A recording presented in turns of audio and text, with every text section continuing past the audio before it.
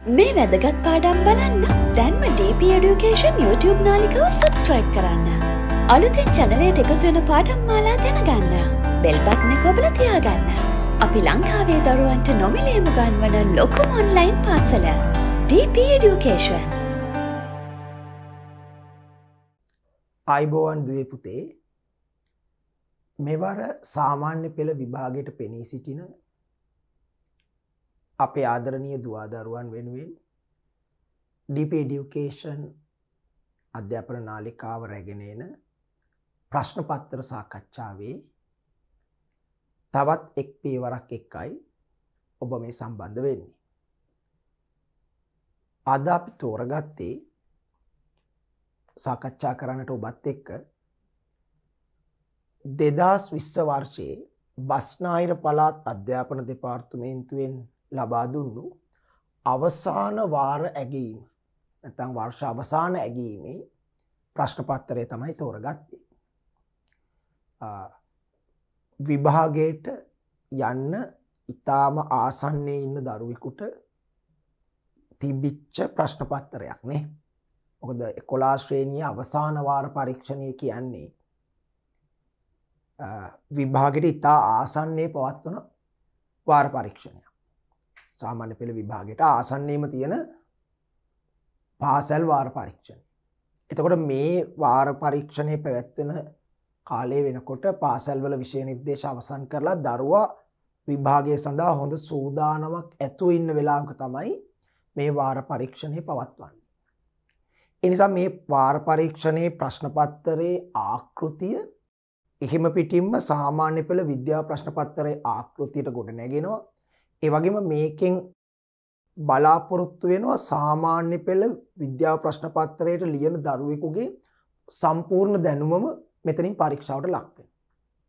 ඒක නිසා මෙවැනි ප්‍රශ්නපත්තරයක් සාකච්ඡා කිරීම තුළින් මගේ දරුවන්ට මුළු විෂය නිර්දේශයම ආවරණය වෙනවා වගේම ප්‍රශ්නපත්තරයේ ව්‍යවහය කුමක්ද ප්‍රශ්නපත්තරයේ ආකෘතිය කුමක්ද ප්‍රශ්නපත්තරයෙන් බලාපොරොත්තු වෙන්නේ තමන්ගේ මොන වගේ විෂයකරණු දැනුමක්ද කියනක පිළිබඳව හොඳ අවබෝධයක් ලබා ගන්නට පුළුවන් මෙවැනි ප්‍රශ්නපත්තර සාකච්ඡා කිරීම තුළින් මොකද මේක මුළු විෂය නිර්දේශයම ආවරණය වනාකාට සකස් කළ තියෙන ප්‍රශ්නපත්තර.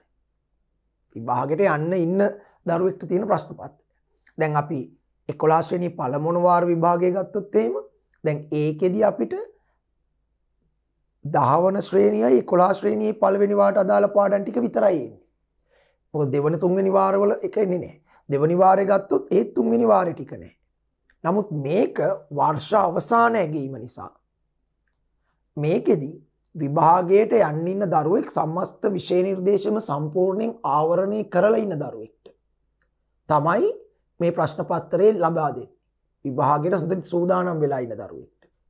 එතොට ඒක නිසා ඔගොල්ලොන්ට මේ ප්‍රශ්න පත්‍රය සාකච්ඡා කිරීම මං අරිස්සල කිව්වාගේ විෂයකරු නැවත මුළු විෂය නිර්දේශ විෂයකරණු මතක් කරගන්න.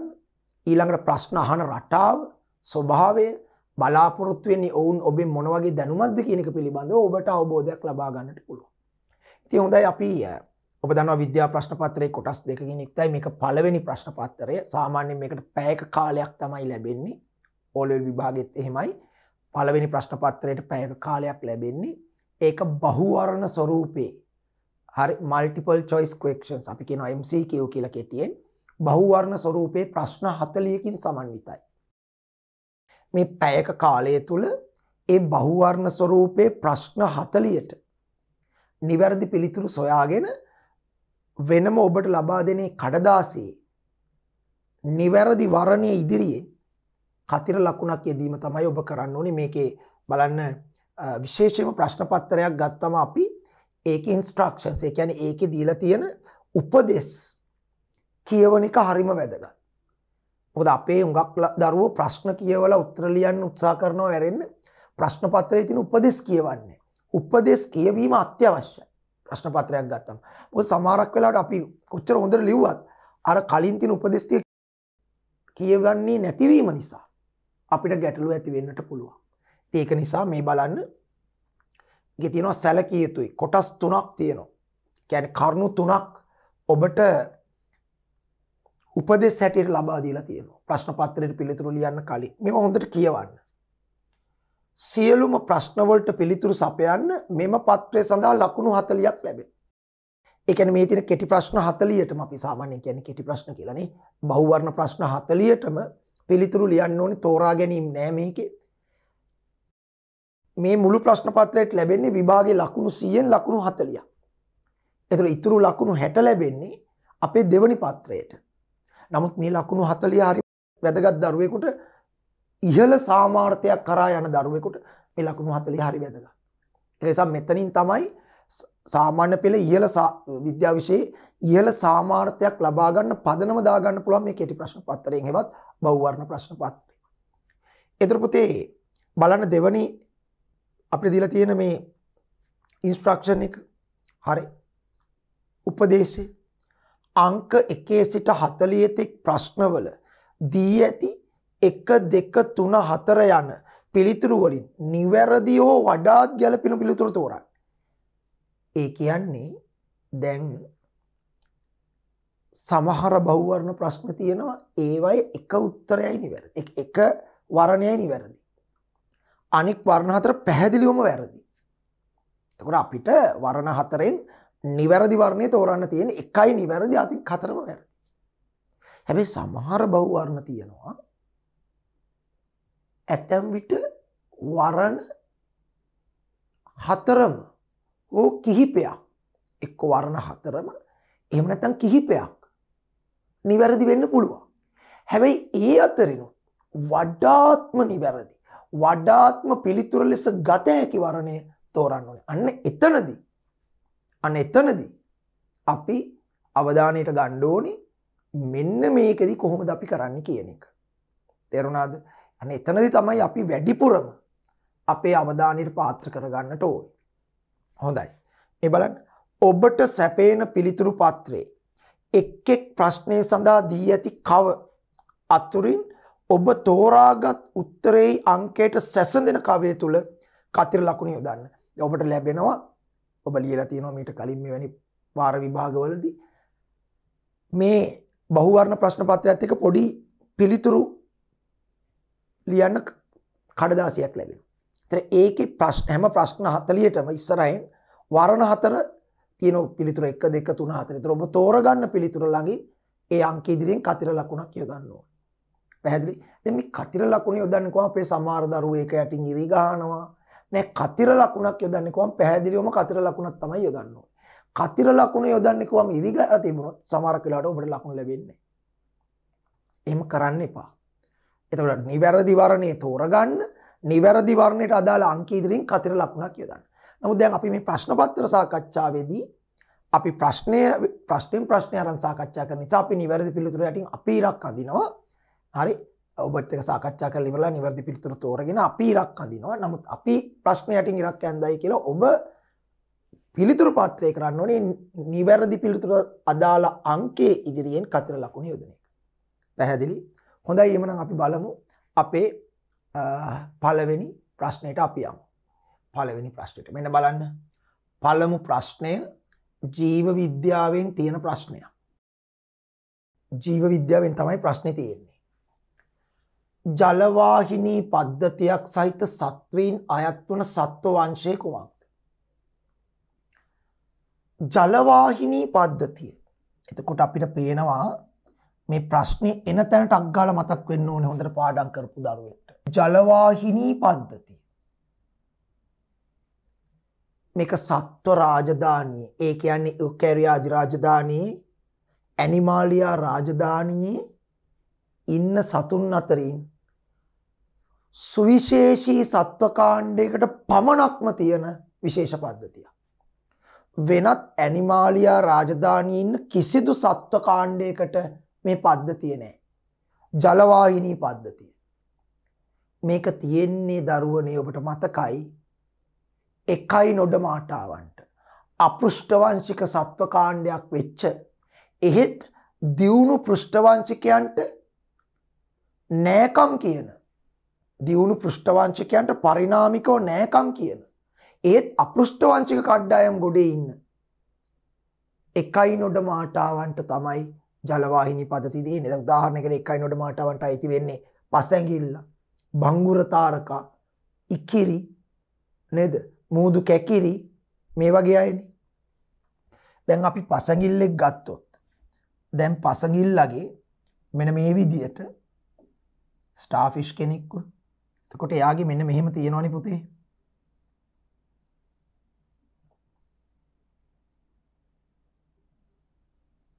නොහොම. එතකොට මේ තම යාගේ විව්වේ. දැන් මෙයාගේ යට පැත්ත හරවල බැලුවම තමයි මේ ජලවාහිනී පද්ධතිය පේන්නේ. උඩ පැත්තෙන් පේන්නේ පසගිල්ලව මෙහෙම අර උඩයට මාරු කරන්න ඕනේ. එතකොට මෙන්න මෙහෙම පේනවා. මෙන්න මේ හරිය තියෙනවා මෙම වෘත්තාකාර නලයක්. ඒකෙන් අරීය නල පහක් මෙහෙම. මේ බාහු පහට අරීය නල පහක් විහිදිලා තියෙනවා. ඔහොම අරීය නල පහක් විහිදිලා තියෙන මැද තියෙන නලේ. මේ ජලවාහිනි පද්ධතිය මම මේ රතු පාටින් අඳින්නේ. මේ හැම අරිය නලෙම වගේ පොඩි නාලපාදයක් හටගෙන තියෙන දෙපැත්තට ඔහොම. නාලපාද. හරි නාලපාද. මේවට කියන්නේ නාලපාද. මේවා එකක් වැදගත් වෙනවා මෙයාට සංචාරණය කරන එක ශ්වසනය සඳහාත් වැදගත් වෙනවා. මෙයාට සංචාරණය කරනත් මේ නාලපාද වැදගත් ශ්වසනය. මම මෙහෙම ඇන්දන මේ නාලපාදයක් මෙහෙම දැන් මෙහෙම අරිය බාහුව තියෙනවා කියන්නකෝ. නාලපාදෙ මෙන්න මෙහෙම එකක් ඔන්න ඔහොම එකක්. ඔන්න ඔහොම එකක් view එකක් නාලපාදේ. ඕකට වතුර පිරුණම ඕක දෘඩ වෙනවා, ශක්තිමත් වෙනවා. තකොට යාට මේක පාවිච්චි කළ ඇවිදින්න පුළුවන් ඊට අමතර සොසනය කරන්න පුළුවන් මේ පද්ධතිය තියෙන්නේ එකයි නොට මාටාගේ පමණමයි වෙනත් අපෘෂ්ඨවංශකයටත් නෑ. දියුණු කිසිදු පෘෂ්ඨවංශක සත්ව කණ්ඩායමකත් නෑ. එකයි නොඩ මාටාවන්ට පමණක් ආවේනික ශ්‍රේෂේෂී පද්ධතියක්. එක නිසා අපි හැමතිස්සම ජලවාහිනි පද්ධති කියපු ගම අපේ ඔළුවට මතක් වෙන්න අපේ මනසට එන්ඩෝනේ මේ එකයි නොඩ මාටා කියලා. ඒ අනු පිළිතුර එකයි නොඩ මේටා හරි. තොට නිඩාරියාව කියන සීලන්ටරේටාවන්ට ජලවාහිනි පද්ධතියක් නෑ. එකයි නොට මේටාව තමයි තියෙන්නේ. ආත්‍ර පොඩා කියන සන්ධිපාදිකයන්ට එහෙම එකක් නෑ. ඒකන තියෙන ශවාසනාල පද්ධතියක් නම් තියෙන ශවාසනාල පද්ධතිය සසනය කරන්න ආත්‍ර පොඩාවන්ට. මොලොස්කාවන්ටත් එහෙම එකක් නෑ. පිළිතුර විශේෂයි එකයි නොඩමාට කයි නොඩ මේටාවට තමයි තිය පැහැදිලි? එන උත්තරේක් ඒ ඒ වගේ විශේෂ තැන්. එකැන ඒගොල්ලන්ට පමණක් දැන් දාහරණයක් හැටියට අපි දන්නවල දැන්. ශාක පැත්තෙන් හිතුම් වර්ගී කරනේ කයිටීන් සහිත සයිල බිත්තියක් තියෙන්නේ. කියපු ගමන් මතක් වෙන්න ඕනේ දිලීර. පොත් සාමාන්‍යයෙන් ශාකොල සයිල බිත්තිය සෙලියුලෝස්. හැබැයි කයිටීන් වලින් සෑදුණු සයිල බිත්තියක් තියෙන දිලීර. අන්න ඒවා හරි විශේෂ තැන්. හරි යුනික් ෆීචර්ස් එකන ආවේනික ලක්ෂණ. ත්‍රයෝ කියපු ගමන් ටක්ගාල එක මත්තක් වෙන්ඩෝ හරි? එතකොට වායු වියලීම සඳහා භාවිතා කරන අම්ලය කුමක්ද පුතේ වායුවර්ග තෙල්වර්ග වියලන්න අපි පාවිච්චි කරනවා අම්ලයක් මේක ඔබට තියෙන්නේ ඔබට එන්නේ මේක ඔබේ කොළොස් වන ශ්‍රේණිය විශය නිර්දේශයේ දෙවනිවාරය අම්ල බශ්ම ලවන කියන මාර්ථකාවේ අම්ල බශ්ම ලවන කියලා රසායන විද්‍යා පාඩමක් ඔබට තියෙනවා දෙවනිවාරේ. අන්න ඒකේ පාඩම අවසානයේ ඔබට තියෙනවා. අම්ල කිහිපයක භාවිත අවස්ථා, බශ්ම කිහිපයක භාවිත අවස්ථා සහ ලවණ කිහිපයක භාවිත අවස්ථා. අන්න එතන මේ කරුණ සඳහන් වෙනවා. පුතේ සල්ෆියුරික් අම්ලය. අම්ල අතර විශේෂ අම්ලයක්. සල්ෆියුරික් අම්ලය සාන්ද්‍ර අම්ලයේ ගත්තොත් ඒ කියන්නේ සාන්ද්‍ර සල්ෆියුරික් අම්ලයට සාන්ද්‍ර සල්ෆියුරික් අම්ලයට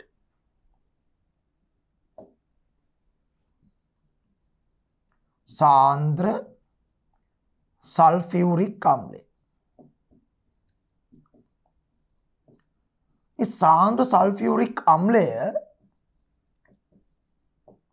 හරි සාන්ද්‍ර සල්ෆියරික් අම්ලය සතුව ශ්‍රීශේෂී ගුණයක් තියෙන.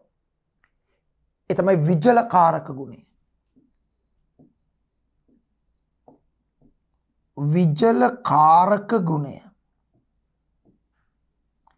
මොකක්ද මේක හැබැයි සාන්ද්‍ර සල්ෆිරික් අම්ලයට විතරක් නෙවෙයි තවත් රසායනික ද්‍රව්‍යවලට කීපයකට තියෙනවා. සාන්ද්‍ර සල්ෆිරික් අම්ලයට විශේෂී තියෙනවා. අම්ල අතර මේක තියෙන සාන්ද්‍ර සල්ෆිරික්ට. විජල කාරක ගුණය කියන්නේ ජලය තියෙන තැනකින් ජලය අවශෝෂණය කරලා එම ස්ථානයේ ජලය නැති කරන්න.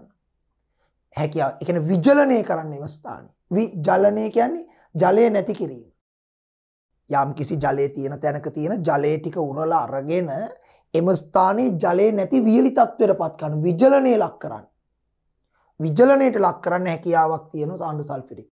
අපි කියනවා සාන්ද්‍ර සල්ෆිරුක්ට විජල කාරක ගුණයක් තියෙනවයි කිය.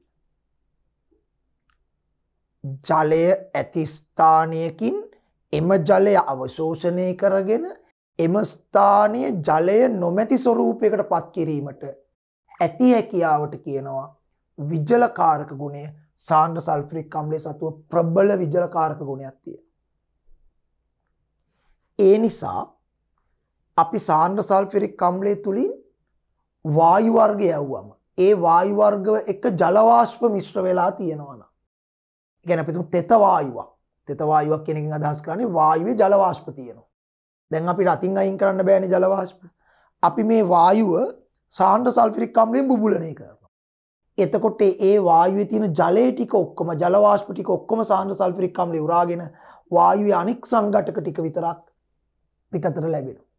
එතකොට ඒ පිටතර ලැබෙන වායු මිශ්‍රණී වායුවේ ජලවාශ්පෝ වෙනත් ද්‍රව ජලය කිසිවක් අඩංගුනෑ ඔක්කොම සාන්ද්‍ර සල්ෆිරික් කම්ලි වරාගෙන අපි කෙන අරක ජලය නොමැති තත්වයට පත් වෙලා විජ්ජලනයට ලක්වෙල. එහෙනම් වායු වර්ගිතරනිවේ සමාරත් තෙල් වර්ග. සමහරත් තෙල් වර්ගවලට ජලය බින්දු ඇටිට මිශ්‍ර වෙලා කලවන් වෙලා. දැන් අතින් අයින් කරන්න බෑනි. ඒ තෙල් වර්ගේ සාන්ද සල්ෆෙරික් කම්ලෙන් යවන ඒ තෙල් වර්ගේ මිශ්‍ර වෙලා තියෙන ජලය ටික ඔක්කොම සාන්ද සල්ෆෙරික් කම්ලි උරාගන්න ජලය නොමැති වියලි තෙල් ටික විතරක් කැන විජලනයට ලක් වෙච්ච තෙල් ටික විතරක් අපිට වෙන් කරලා ගන්න පුළුවන්. අන්න තෙල්වල තෙල් වර්ගවලත් වායු වර්ගවලත් නිර්ජල කාරකයක් එවත් විජල කාරකයක් ලෙස සාන්ද්‍ර සල්ෆිරික් භාවිතා කරන. මේ ගුණේ තියන අම්ලවලින් සාන්ද්‍ර සල්ෆිරික් අම්ලයට තමයි. යනුව වායු වියලීම සඳහා භාවිතා කරන අම්ලේ කුමක්ද හයිඩ්‍රකලෝරික් අම්ලේ නෙවෙයි නයිට්‍රික් අම්ලේ නෙවෙයි සල්ෆියරික් අම්ලේ තමයි ඇසිටික් අම්ලේ නෙවෙයි එන පිළිතුර වෙන්නේ සල්ෆියරික් අම්ලේ සල්ෆියරික් අම්ලේ H2SO4 විජ්ජල කාරකයක් ලෙස භාවිතා වෙන්නේ සල්ෆියරික් අම්ලේ ඊළඟට. ප්‍රවේගේ මැනීමේ සම්මත ඒකකේ වන්නේ. ඔබ දන්නවා ප්‍රවේගය කියන්නේ විස්ථාපනය වෙනස්වීමේ සීග්‍රතාවේ ප්‍රවේගේ ප්‍රවේග යනු විස්ථාපනය වෙනස්වීමේ සීග්‍රතාව අපි ප්‍රවේගය ගණනය කරන්නේ ප්‍රවේගයත් සමානයි. අපි දරුව දන්නවා මේක ඒකේ මං කියන කාටරි අමතක වුණානම් එයාට ඒ වෙලෙට හොයා ගන්න පුළුවන් ප්‍රවේගය සමානයි විස්ථාපනය බෙදීම විස්ථාපනය බෙදීම කාලයනේ ඕනම දෙයක් කාලෙන් බෙදුවොත් සීග්‍රතාවය. ඒතර විස්ථාපනයේ කාලෙන් බෙදුවොත් විස්ථාපනය වෙනස් වීමේ සීග්‍රතාවය ඒක තමයි ප්‍රවේගය. එතකොට දරුවෝ දැන් මෙතනට මේ විස්ථාපනය මැනීමේ අන්තර්ජාතික සම්මතයකේ මීට කාලේ මැනීමේ අන්තර්ජාතික සම්මතයකේ තත්වර තර විස්ථාපනය මීටරොලින් ආදේශ කරලා කාලේ තත්වරොලින් ආදේශ කරාම ඒකක දෙක කැපෙන නැති නිසා මීටර් උඩ තියෙනවා යටේස් උඩට එනවා. එතකොට ස්ට්‍රීන එක වෙනවා. එනම් ප්‍රවේගේ මැනීමේ අන්තර්ජාතික සම්මතයකකය තත්පරයට මීට තත්පරයට මීටර්. තත්පර එකකට මීටර් කියක් යනවද. තත්පරයට මීටර්. එනම් පුතේ තත්පරයට මීටර් තමයි ප්‍රවේගේ මැනීමේ අන්තර්ජාතික සම්මත ඒකකි. පළවෙනි පිළිතුරේම ඔබට සඳහන් වෙනවා තත්පරයට මීටර් කියන. ඉති. නම් මේක තමයි නිවැරදි පිළිතුර. අනික් ඒවත් නිකම් බලමු. වර්ග මීටර් නිව්ටන් වලින් මනින්නේ. ඒ කියන්නේ ජූල්. ශක්තිය එහෙම නැත්නම් ශක්තිය තමයි මනින්නේ වර්ග මීටර් නිව්ටන්. හරි සමාන වර්ග මීටර් නිව්ටන් කියන්නේ නිව්ටන් මීටර් කියන්නේ ජූල් වර්ග මීටර් නිව්ටන් කියන්නේ පැස්කල්. පැස්කල් පැස්කල් වලින් මයින පීඩනේ වර්ගමීට නිවටන් පැස්කල් පැස්කල් වලින් මයින පීඩනේ නිවටන් මීටර් තිබනම එකම එම් තිබ බන නිවටන් මීටර් ජූල්. නමුත් එන්නෙම් නෙවේ තියෙන වර්ගමීට නිවටන්. වර්ගමීට නිවටන් කියන තනියකගේ පැස්කල්. එක දාන තන පුළුවන් තනියක ඇත්තින පැස්කල්. පැස්කල් වලින් මනින්න පීඩන එන මේ වර්ගමීට නිවටන් වලින් මයින් පීඩන ප්‍රවේග නෙවේ එම්ස් ඒකැන මීටර් තත්පර. එහෙම නිශ්චිත රාශයක් අපි සාකච්ඡා කල නෑ සාමාන්‍ය පෙළ විශෂය නිර්දේශය. එම්ස් රින දෙක බලය ඒ කියන්නේ තත්පර වර්ගයට මීටර් වලින් මනිනවා තරණය හෝ මන්දනය මොකද තොරණය හෝ මන්දනය තොරණය හෝ මන්දනය යනු ප්‍රවේගය වෙනස් වීමේ සීග්‍රතාවේ. එතට ඒක මනින්නේ තොරණයෝ මන්දනය මනින අන්තර්ජාතික සම්මතයකේ තත්පර වර්ගයට මීට. නමුත් දරුවෝ මෙතනහන්නේ ප්‍රවේගේ මැනීමේ සම්මතයක කියවන්නේ කුමක්ද පිළිතුර තත්පරයට මීට තත්පරයට මීට. හොඳයි ඊලට හත්තරවෙනි ප්‍රශ්නය. මානව ආහාරජීර්ණ පද්ධතියේ ආම්ලික මාධ්‍යකදී ක්‍රියා කරන එන්සයිමේ වන්නේ. ඔබ දන්නවා ආහාරජීර්ණ පද්ධතිය අපිට එකොළොස් වන ශ්‍රේණයේ හයවන පාඩම හැටියට ඉගෙන ගන්න තිබුණා. එතැන්දි අපි ආහාරජීර්ණ පද්ධති ඇතුළු තවත් පද්ධති කිහිපයක් ඉගෙන ගත්තා. එතර ආහාරජීර්ණ පද්ධති ඉගෙන ගත්තා මුඛයෙන් ආරම්භ වෙලා ගුදයෙන් අවසන් වන නාලාකාර විව්වයක් වන ආහාර මාර්ගය තුල ආහාර ගමන් කරද්දී එහි විවිධ ස්ථානවලදී ශ්‍රාවය වන විවිධ එන්සයිම මගින් ආහාරයේ රසායනික වශයෙන් ජීර්ණයට ලක් කරනවායි කිය. මුකෙන් ආරම්භ වෙලා ගුදයෙන් අවසන් වන නාලාකාර විව්වයක් වන ආහාර මාර්ගයේ තුලින් ආහාර ගමන් කිරීමේදී එම මාර්ගයේ විවිධ ස්ථානවලින් ශ්‍රාවණ එන්සයිම මගින් විවිධ ආහාර කොටස් විවිධ ආකාරයට රසායනික වශයෙන් ජීර්ණය වෙලා ආහාරය සරල ද්‍රව්‍ය බවට පත් වෙනවා. දැන් මේ එන්සයිම අතරින් සමහර එන්සයිම භාෂ්මික මාධ්‍යකදී ක්‍රියාත්මක වෙනවා. තවත් සමහරක් එන්සයිම ආම්ලික මාධ්‍යකදී ක්‍රියාත්මක වෙනවා. උදාහරණයක් හැටියට ගත්තොත් මුඛයේ ආහාර තියෙන වෙලාවට ගැන අපි කටේ තියාගෙන ආහාර හපනකොට කේටය කෙලවලින් ස්ට්‍රාවෙනවා ටයිලීන් කියල එන්සයිමය ඒ ටයිලින් එන්සයිමෙන් කරන්නේ පිෂ්ටේ මෝල්ටෝස් බවට පරිවර්තනය කිරීම.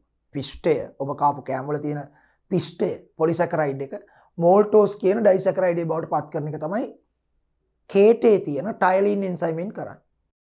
හැබැයි එන්සයිම ක්‍රියාත්මක යන්තම් භාෂ්මික මාධික පH හතයි දශම හතරකද විතර. ඔබදන පHගේ හතනං උදාසීනයි හතට වඩා අඩුනං ආම්ලිකයි පHගේ හතට වඩා වැඩිනම් භාෂ්මිකයි. දැන් ටයලින් යන්තම් භාෂ්මික මාධ්‍යක තමයි ක්‍රියාත්මක වේ. එසක් කේටේ පHගේ හතයි දශම හතරයකින් චූට්ටක් හතට වඩා වැඩි. යාන්තමට භාෂ්මික එක තමයි ටයිලින් ක්‍රියාත්මක වේ. නමුත් ආහාර ආමාශයට ගියාම ආමාශය ආම්ලිකයි. ආමාශය ආම්ලික ඔබ ඉගෙන තියෙන ආමාශයට ආහාර ආපු ගමන් ආමාශ විත්තින් ස්‍රාව වෙනවා හයිඩ්‍රොක්ලෝරික් අම්ලය. හයිඩ්‍රොක්ලෝරික් අම්ලය. හරි ඒ හයිඩ්‍රොක්ලෝරික් අම්ලය ආමාශය තුල තිබෙන ආහාරයත් එක්ක මිශ්‍ර වෙලා ආමාශය තුල තියෙන ආහාරය ආම්ලික තත්ත්වයට පත් කරනවා. ඒක නිසානේ නමත් ඇල තියෙන ආමල ආශය. ආමල ආශය. ආමල කියන්නේ ආම්ලික. ආශය කියන්නේ බෑග් එක. ආම්ලික වූ බෑග් එක කියන අර්ථයක් ඔක තියෙන්නේ. ආමල ආශය ආමාශය. මයි සිංහල වචන හැදිලා තියෙන්නේ. එතකොට ආමාශය ආම්ලිකයි. ආම්ලික මාධ්‍යට ආපු ගමන් අර ටයිලින් එන්සයිමේ තමන්ගේ වැඩ නවත්තනවා. පිස්ටේ මෝල්ටෝස් වෙන එක නවත්තනවා. ඇයි? එයාට ආම්ලික මාධ්‍ය ක්‍රියාත්මක වෙන්න බෑ. ඒ කියන්නේ එන්සයිම් එකක් ක්‍රියාත්මක වෙන නිවැරදි pH අගය තියෙන්න ඕනේ. පH හතයි දශමාතර යන්තම් භාෂ්මික මාධ්‍ය මුකේදී ක්‍රියාත්මක ටයිලින් එන්සයිම් එකට ආර ආමාශයටාවට පස්සේ එතනදී ක්‍රියාත්මක වෙන්න බෑ මොකද ආමාශය ආම්ලිකයි. එහි හයිඩ්‍රොක්ලෝරික් අම්ලය තියෙනවා. හයිඩ්‍රොක්ලෝරික් අම්ලය මගින් ආමාශය තුල ඉහළ ආම්ලිකතාවයක් ඇති කරනවා. ආම්ලික මාධ්‍යයේ ටයිලින් තමන්ගේ වැඩ නවත්තනවා. ඊට පස්සේ ඒක නැවත වෙන තැනකදී පටන් ගන්නවා ආයේ එපිස්ටේමෝල්ටෝස් වීම. නවතන එක මට පෙන්වන්න ඕන කරේ නිවැරදි pH එක තිබ්බොත් විතරයි එන්සයිමයක් ක්‍රියාත්මක වෙන්නේ. එතකොට ආමාශයේදී ආම්ලික මාධ්‍යයේ ආහාර ජීර්ණය වීම ආරම්භ වෙන්න ආමාශ බිත්තියෙන් ශ්‍රායනවා පෙප්සීන් කියලා එන්සයිමයක්. මොකද එන්සයිමේ නම පෙප්සීන්. අපි ඉගෙනගෙන තියෙනවා නේද? පෙප්සීන් එන්සයිමය ආමාශක ග්‍රන්ථි ආමාශ බිත්තියේ තියෙන ආමාශික ග්‍රන්ථි ආමාශික ග්‍රන්ථි වලින් තමයි පෙප්සීන් එන්සයිමේ ශ්‍රාවය කරන්නේ.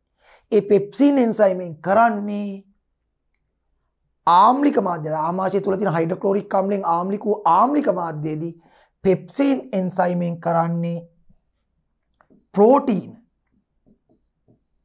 ප්‍රෝටීන ආමාශය තුළට ආපු ආහාරවල තියෙන ප්‍රෝටීන පොලිපෙප්ටයිඩ බවට පත් කරනවා.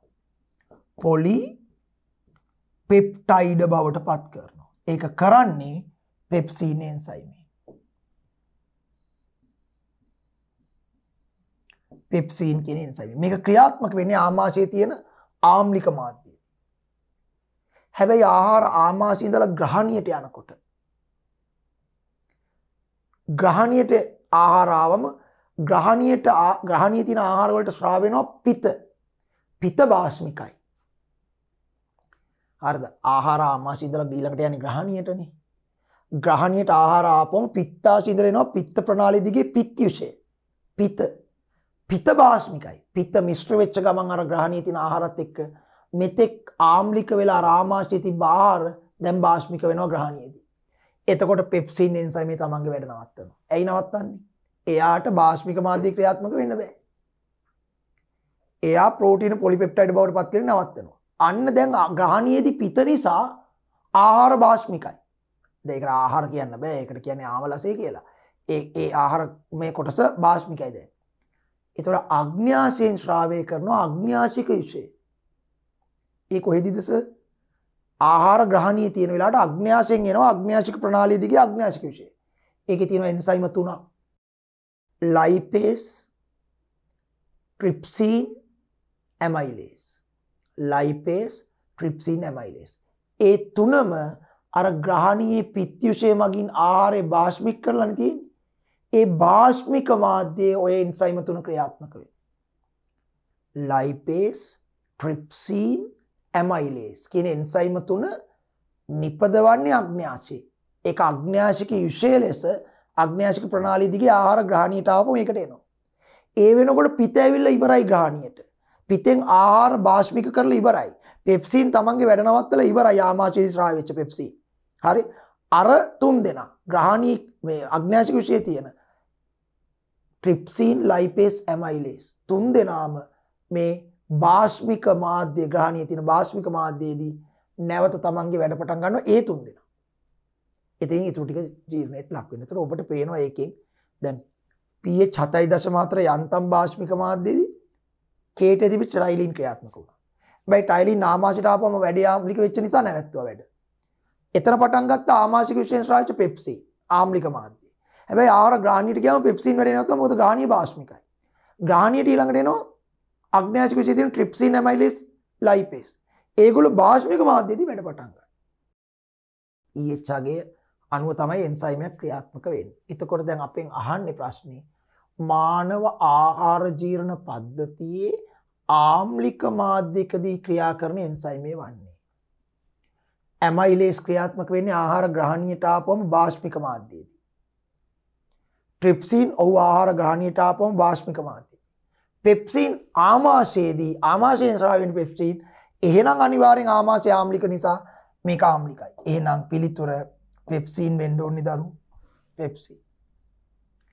එතකොට සලයිපෙස් ඒකත් ග්‍රහණීයදි ක්‍රියාත්මක වෙන්නේ භාෂ්මික මාන්තයේදී. යනු පිළිතුර පෙප්සි පෙප්සි.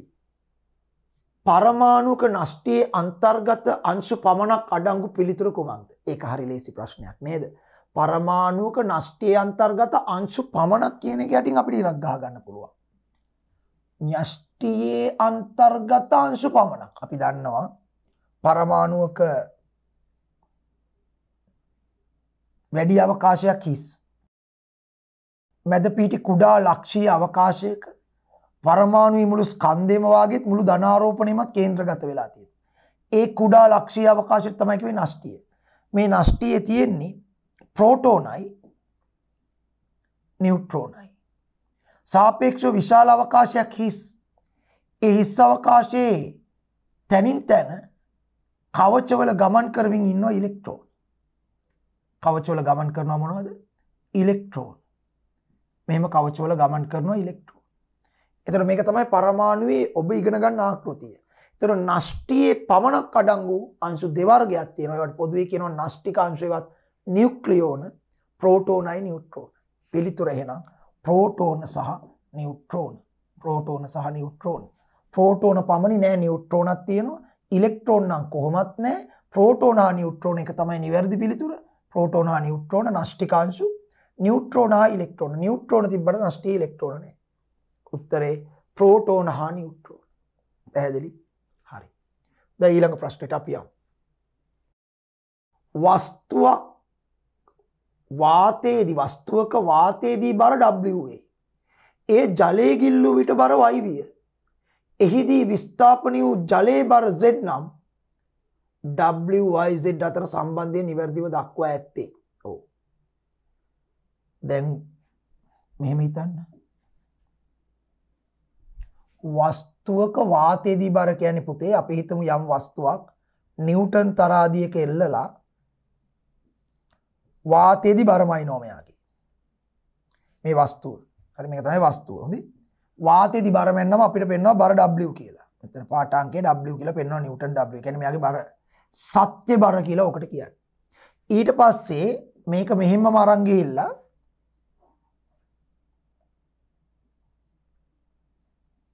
විස්ථාපන භාජනයක තියෙන ජලය ගිල්ලනවා. මේක මෙහෙම උස්සගෙන ගිහලා විස්ථාපන විස්ථාපන භාජනයේ කට ළඟට වතුර තියෙනවා. හරි. මෙතන ගිල්ලනවා. ගිල්ලුවා මෙහෙමනේ. මේ නිව්ටන් තරාදිය මේ වස්තුව ඔය ගිල්ලපු වස්තුව ඒකමයි හොඳේ වෙන එකක් නෙවෙයි. හරි මෙහෙම අරන් ගිහලා ගිල්ලුවා. ගිල්ලුවම අපි දන්නවා මෙයාගේ බර අඩු වෙනවා. මොකද ආකිමිඩිස් කියනවා වස්තුවක් තරලයක සම්පූර්ණ වශයෙන් හෝ අර්ධ වශයෙන් ගිල්ලූ විට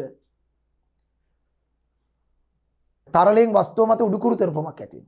තරලෙන් වස්තුව මත උඩුකුරු තෙරපමක්. ඒ අනුව මේ වෙලාවේ උඩුකුරු තෙරපමක් ඇතිවෙන. උඩු අතට උඩුකුරු තෙරපමක් හටගන්න. ඒ කියන්නේ දැන් මෙතන නැති උඩු අතට බලයක් මේකෙදි හටගන්න. ඒක වෙන්නේ වස්තුව සම්පූර්ණ වශයෙන් හෝ අර්ධ වශයෙන් තරලයේ ගිල්ලුවම. ඉතින් මම සම්පූර්ණයෙන් ගිල්ලලා තියෙන එක අදින්නේ අර්ධව ගිල්ලුවත් ඒ තල්ලු හට ගන්නවා. ඒකට කියනවා උඩුකුරු තෙරපම. දැන් උඩුකුරු තෙරපම නිසා මේ නිව්ටන් තරාදියට දැනෙන මේ වස්තුවේ බර චුට්ටක් අඩු වෙනවා. ඒ නිසා දැන් දැනෙන බරයා කියන්නේ ඒ ජලයේ ගිල්ලූ විට බර වයිවිය. එහෙනම් දැන් පොඩ්ඩක් බර අඩුයි. එතකොට y කුඩයි w ට වඩා. මොකද ඉස්සල්ලා මුකුත් මෙහෙ පහලින් උඩට තල්ලුවක් නැති නිසා මේ වස්තුවේ නියම බරම නිව්ටන් තරාදියට දැනෙනවා. හැබැයි දැන් තරලය ගිල්ලුවම තරලයෙන් වස්තුව මත උඩුකුරු තෙරපුමක් කියන උඩුකුරු තෙරපුම මෙහෙම ඇති කරන නිසා නිව්ටන් තරාදියට දැන්න බර වස්තුවේ සැබෑ බරට වඩා අඩුයි. ඒක y. දැන් දැන්න බර y. මේකට කියන්නේ දෘශ්‍ය බර. මේකට කියන්නේ සත්‍ය බර. මේ සත්‍ය බරෙන් දෘශ්‍ය බර අඩු කරාම ඒ කියන්නේ W ගෙන් අඩු කරොත් y මේ ඇතිවෙච්ච උඩුකුරු තෙරපුම හොයන්න පුළුවන්. දැන් උදාහරණයකට මේක අපි හිතමුකෝ නිව්ටන් 10යි කියලා. හරි. ඊට වඩා මේක අඩුයිනේ අපි හිතමු මේක 8යි කියලා නිකන්. ඉලක්කමක් දාගමු 8යි කියලා. එතකොට 10 8ට අඩු වෙන්නේ මේ උඩ තල්ලුව නිසා. එහෙනම් 10න් 8 අඩු කරාම දෙකයි. ඒ කියන්නේ උඩට ඇති වෙන තල්ලුව දෙකයි. නිව්ටන් දෙකයි. නිව්ටන් දෙකකින් තල්ලු කරපු නිසා තමයි අරයට සැබෑ 10ට වඩා දෙකක් අඩුවෙන් දැනුනේ. කාටද නිව්ටන් තරහදිරි මේ වස්තුවේ බර? එහෙනම් ඒ දෙක හොයාගන්න පුළුවන්. දෙක කියන්නේ උඩුකුරු තෙරපම හොයාගන්න පුළුවන්. සත්‍ය බරෙන් දෘශ්‍ය බර අඩු කරා. සත්‍ය බරෙන් දෘශ්‍ය බර. මේ තියෙන සත්‍ය බර ජලයේ ගිල්ලු විට පෙන්වන දෘශ්‍ය බරය. සත්‍ය බරෙන් දෘශ්‍ය බර අඩු කරාම උඩුකුරු තෙරපම හම්බ වෙනවා. එහෙනම් W ඍණ y සමානයි උඩුකුරු තෙරපම. W කියන්නේ සත්‍ය බර හරිද? y කියන්නේ දෘශ්‍ය බර. ඒ දෙක අඩු කරාම අපිට ලැබෙනවා උඩුකුරු තෙරපම. උඩුකුරු තෙරපම. දැන් ආකිමිඩිස් කියනවා මෙහෙම. මොකද්ද? දැන් ඔය විදියට ගිල්ලනකොට ඉස්සලා කට ළඟට වතුර තිබ්බනම් විස්ථාපන භාජනයේ ඒ කියන්නේ මේ පැත්තෙන් තියෙන පැති නලේ ළඟටම වතුර තිබ්බනම් දැන් මේක ගිල්ලනකොට මේ වස්තුවට ඉඩ දෙන්න වතුර ප්‍රමාණයක් එළියට යනවනේ. අන්නේ එළියට යන වතුර ටික වෙන් කරලා ගත්තොත් මේ එළියට යන වතුර ටික වෙන් කරලා අරගෙන ඒකේ බර මැන්නොත් ඒකේ බර මයින් තැටි තරාදියක් තියලා පුළුවන් නෙවෙයි. එතකොට මේකට එන වතුර ටික දැන් මෙයාව ගිල්ලනකොට මේ වස්තුවේ ප්‍රමාණයට ඊට දෙන්න මෙතන වතුර ප්‍රමාණයක් විස්ථාපනය වෙනවනේ එළියට. ඒ විස්ථාපන වතුර පොදක්වත් අපත යන්න නැතුව දුදී මෙතනට එකතු කරගත්තොත් අන්නේ වතුරේ බර. ඒක කියනවනේ මේ. ඒ කියන්නේ එහිදී විස්ථාපනය වූ ජලයේ බර මේක Z. ආ ඒක Z නම්. ජලයේ බර Z නම්. ජල පරිමාව නෙමේ ජල එළියට ගිය වතුර ටිකේ බර Z නම්. ආකිමිඩිස් කියන්නේ ඔය Z උයි මේ උඩුකුරු තෙරපම එක හා සමානයි කියලා. ඒක තමයි ආකිමිඩිස්ගේ නියමය. ආකිමිඩිස් කියන්නේ වස්තුවක් තරලයක සම්පූර්ණ වශයෙන් හෝ අර්ධ වශයෙන් ගිල්ලූ විට තරලයෙන් වස්තුව මත ඇති කරන්නා වූ උඩුකුරු තෙරපුම විස්ථාපිත තරල පරිමාවේ බරට සමාන වේ. ඒක තමයි ආකිමිඩිස්ගේ නියමය. තරලයක් තුළ වස්තුවක් සම්පූර්ණ වශයෙන් වූ අර්ධ වශයෙන් ගිල්ලූ විට තරලයෙන් වස්තුව මත ඉහලට ඇති කරන්න උඩුකුරු තෙරපුම එම වස්තුව හේතුවෙන් විස්ථාපනය වූ තරල පරිමාවේ බාට සමාන වේ. එතකොට දැන් මේ විස්ථාපනය වෙච්ච තරලේ බර Z නම් ඒක සමානයි උඩුකුරු තෙරපුම. කියන්නේ මේ උඩුකුරු තෙරපුමට සමානයි. ඒ කියන්නේ දැන් උඩුකුරු තෙරපුම අපි ගත්තේ මොකද්ද? සත්‍ය බරෙන් දෘශ්‍ය බර අඩු කරලා. W ගෙන් y අඩු කරාම අපිට එන උඩුකුරු තෙරපුම. ආගමිනිස් කියනවා ඒන උඩුකුරු තෙරපුම සමාන වෙන විස්ථාපිත තරලේ බරට. ඒ කියන්නේ Z මෙන්න සම්බන්ධය. W ඍණ y සමානයි Z. සත්‍ය බර W වාතයේදී පෙන්වන බර දෘශ්‍ය බර Y ජලයේ ගිල්ලු විට පෙන්වන බර සත්‍ය බරට වඩා දෘශ්‍ය බර අඩුයි අඩු වෙන්නේ උඩුකුරු තෙරපම නිසා එහෙනම් අඩු ටික බැලුවා නම් උඩුකුරු තෙරපම හොයාගන්න පුළුවන් W ඍණ Y උඩුකුරු තෙරපම. ආගමිනිස් කියනවා එලෙස හට ගන්නා උඩුකුරු තෙරපම වස්තුවට ඉඩ දෙන්න තරලයෙන් විස්ථාපනය වූ තරල පරිමාවේ බරට සමානයි. Z සමානයි. එහෙනම් W ඍණ Y සමානයි Z. ඒක තමයි සම්බන්ධය. එහෙනම් පුතේ ඒකේ ආයේ උත්තර අනික් ඒවා හොය හොය ඉන්න දෙයක් නැහැ. ඒ වගේ ප්‍රශ්නයක් අප මේ ධාන්නේ හරි වස්තුවක් වාතයේදී බර W ඒ ජලයේ ගිල්ලු විට බර YV එහිදී විස්ථාපනය වූ ජලයේ බර Z නම් WY Z අතර සම්බන්ධය නිවැරදිව දක්වා ඇත්තේ. දැන් ඒ වගේ ප්‍රශ්නවලදී පිළිතුරු හතර කියන වර්ණ හතර කියෝ කියෝ ඉඳලා වැඩක් නැහැ. ඒක කියවුවොත් එම පැටලි සාගත තත්වයකට යනවා. අපි කරන්න ඕනේ මේ තියෙන දත්ත වලින් පිළිතුර ගොඩනගාගෙන ඒ පිළිතුර තියෙන්නේ කොහෙද කියලා බලන එක. එතකොට W ඍණ y සමානයි z තමයි සම්බන්ධය. W ඍණ y කියන්නේ උඩුකුරු තරපම සමානයි විස්ථාපිත තරලේ බරට. එහෙනම් මේ තියෙන්නේ W ඍණ y සමානයි z. එහෙනම් උත්තරේ එකයි. පිළිතුර එකයි. W ඍණ y සමානයි z. ඔන්න පිළිතුර. හරි. පැහැදිලි? ඊළඟට මිනිසාගේ යම් ජානයක සිදුවන විකෘතිවීම නිසා රතුරුදුරානුවල අසාමාන්‍ය හිමොග්ලොබීන් අනුවක් නිපද වේ. මෙම ප්‍රවේණික ආබාධය හඳුරන නම කුමක්ද? ඔව්. මිනිසාගේ අලිංග වර්ණ දේහයක තියෙනවා අලිංග වර්ණ දේහයක 23 වෙනි ලිංග වර්ණ දේහ යුගලයේ මත නෙවෙයි අලිංග වර්ණ දේහයක තියෙනවා යුගලයක් මත හිමොග්ලොබීන් සෑදීමට අදාළ ජානය. හිමොග්ලොබීන් සෑදීමට අදාළ ජානය. එතකොට ඒ ජානය හරි විදියට තියෙනවා. ජානය කියන්නේ යම් ප්‍රවේණික ලක්ෂණයක් සඳහා වග කියන්නා වූ DNA අණුවකට අයත් නිශ්චිත නයිට්‍රජනීය භස්ම අණුපිළිවෙලක්. එහෙම තමයි ජානයේ අර්ථ දැක්වීම තියෙන්නේ. යම් ප්‍රවේණික ලක්ෂණයක් සඳහා වග කියන්නා වූ DNA අණුවකට අයත් නිශ්චිත නයිට්‍රජන් භස්ම අණු පිළිවෙලක් ජානකය. කියන්නේ වෙන කියනවා DNA අණුවක සටහන් වූ තොරතුරු ජානය. එතකොට අපේ අලිංග වර්ණ දේ යුගලක තියෙනවා එක් තැනක ජානයක් ඒ ජානයේ තමයි හිමොග්ලොබින් සෑදීමට අදාළ තොරතුරු නිවැරදිව සටහන් වෙලා තියෙන්නේ. එතකොට ඒ ජානය නිවැරදි ලෙස තොරතුරු සටහන් වෙලා තියෙන ජානය තියෙනවා නම් ඒ වගේ පුද්ගලයෙක්ගේ ඇඟේ ඒ ජානයේ ක්‍රියාත්මක වෙලා හරි විදියට රුධිරේ හිමොග්ලොබින් නිෂ්පාදනය වෙනවා. හරි විදියට රුධිරේ හිමොග්ලොබින් ටික නිෂ්පාදනය වෙනවා. හැබැයි සමහර අයගේ ඔය කියන හිමොග්ලොබින් සෑදීමට අදාළ ජානයේ තොරතුරු විකෘති වෙලා නයිට්‍රජන් භස්ම අණුපිළිවෙලේ භස්ම පොඩ්ඩක් එහෙට මෙහෙට මාරු වෙලා භස්ම අණුපිළිවෙල මාරු වුණා කියන්නේ තොරතුරු විකෘති. ඒ කියන්නේ ඒ ජානයේ විකෘති වෙලා තොරතුරු විකෘති. දැන් මොකද වෙන්නේ? එතකොට එයාගේ ඇඟේ තියෙන හිමොග්ලොබින් සෑදීමට අදාළ ජානයේ විකෘති නිසා එයාගේ ඇඟේ හරියට හිමොග්ලොබින් හැදෙන්නේ නැහැ හැදෙන්නේ විකෘති හිමොග්ලොබින් අණු. නිවැරදි හිමොග්ලොබින් අණු හැදෙන්නෙත් නැහැ හැදෙන්නේ විකෘති ඒවා. ඒවා නියමිත ප්‍රමාණයට හැදෙන්නෙත් නැහැ. අන්න ඒ නිසා අපි දන්නවා හිමොග්ලොබින් වලින් කරන්නේ පෙනහළු වල සිට පටක සෛල දක්වා ඔක්සිජන් පරිවහනය කිරීම. එතකොට හරි හිමොග්ලොබින් අණු හැදුන්නේ නැත්නම් සහ හැදෙන හිමොග්ලොබින් ප්‍රමාණය අඩු වුණාම පෙනහළු වල සිට පටක සෛල දක්වා ඇඟේ සෛල වලට ඔක්සිජන් යන්නේ නැහැ. ඇඟේ සෛල වලට ඔක්සිජන් ගියේ නැහැ කියන්නේ ඇඟේ සෛල වල මයිටොකොන්ඩ්‍රියා තුලදී ශක්තිය නිෂ්පාදනය වෙන්නේ නැහැ හරියට. ඔබ දන්නවා සෛල වල සියලුම ජීව ක්‍රියාවන් කරන්න ශක්තිය අවශ්‍යයි. ඉතින් සෛල වල ශක්තිය නිපද වෙන්නේ නැහැ කියන්නේ මුළු ශරීරයේම ක්‍රියාකාරීත්වය අඩාල වෙලා ඒ පුද්ගලයාගේ වර්ධනය අඩු වෙලා එයාගේ බුද්ධි වර්ධනය අඩු වෙලා කායික වර්ධනය අඩු වෙලා ක්‍රියාශීලීත්වය අඩු වෙලා ඇඟ සුදුමැලි වෙලා රක්තහීනතාව ඇවිල්ලා මේ වගේ රෝගී තත්ත්ව හට ගන්නවා. මේ පොදු රෝගයට අපි කියන්නේ තැලසීමියාව. තැලසීමියාව. ඒතර තැලසීමියාවේ ලක්ෂණ තමයි මේවා. මේකට හේතුව තමයි අලිංග වර්ණ දේහ යුගලක් මත තියෙන හිමොග්ලොබින් සෑදීමට අදාළ ජානය විකෘති වී. එහෙනම් අපෙන් අහනවා මිනිසාගේ යම් ජානයක සිදුවන විකෘති වීම නිසා රතු රුධිරාණු වල අසාමාන්‍ය හිමොග්ලොබින් අණුවක් නිපද වේ. මෙම ප්‍රවේණික ආබාධය හඳුන්වන නම. මේකට කියන්නේ තැලසීමියාව.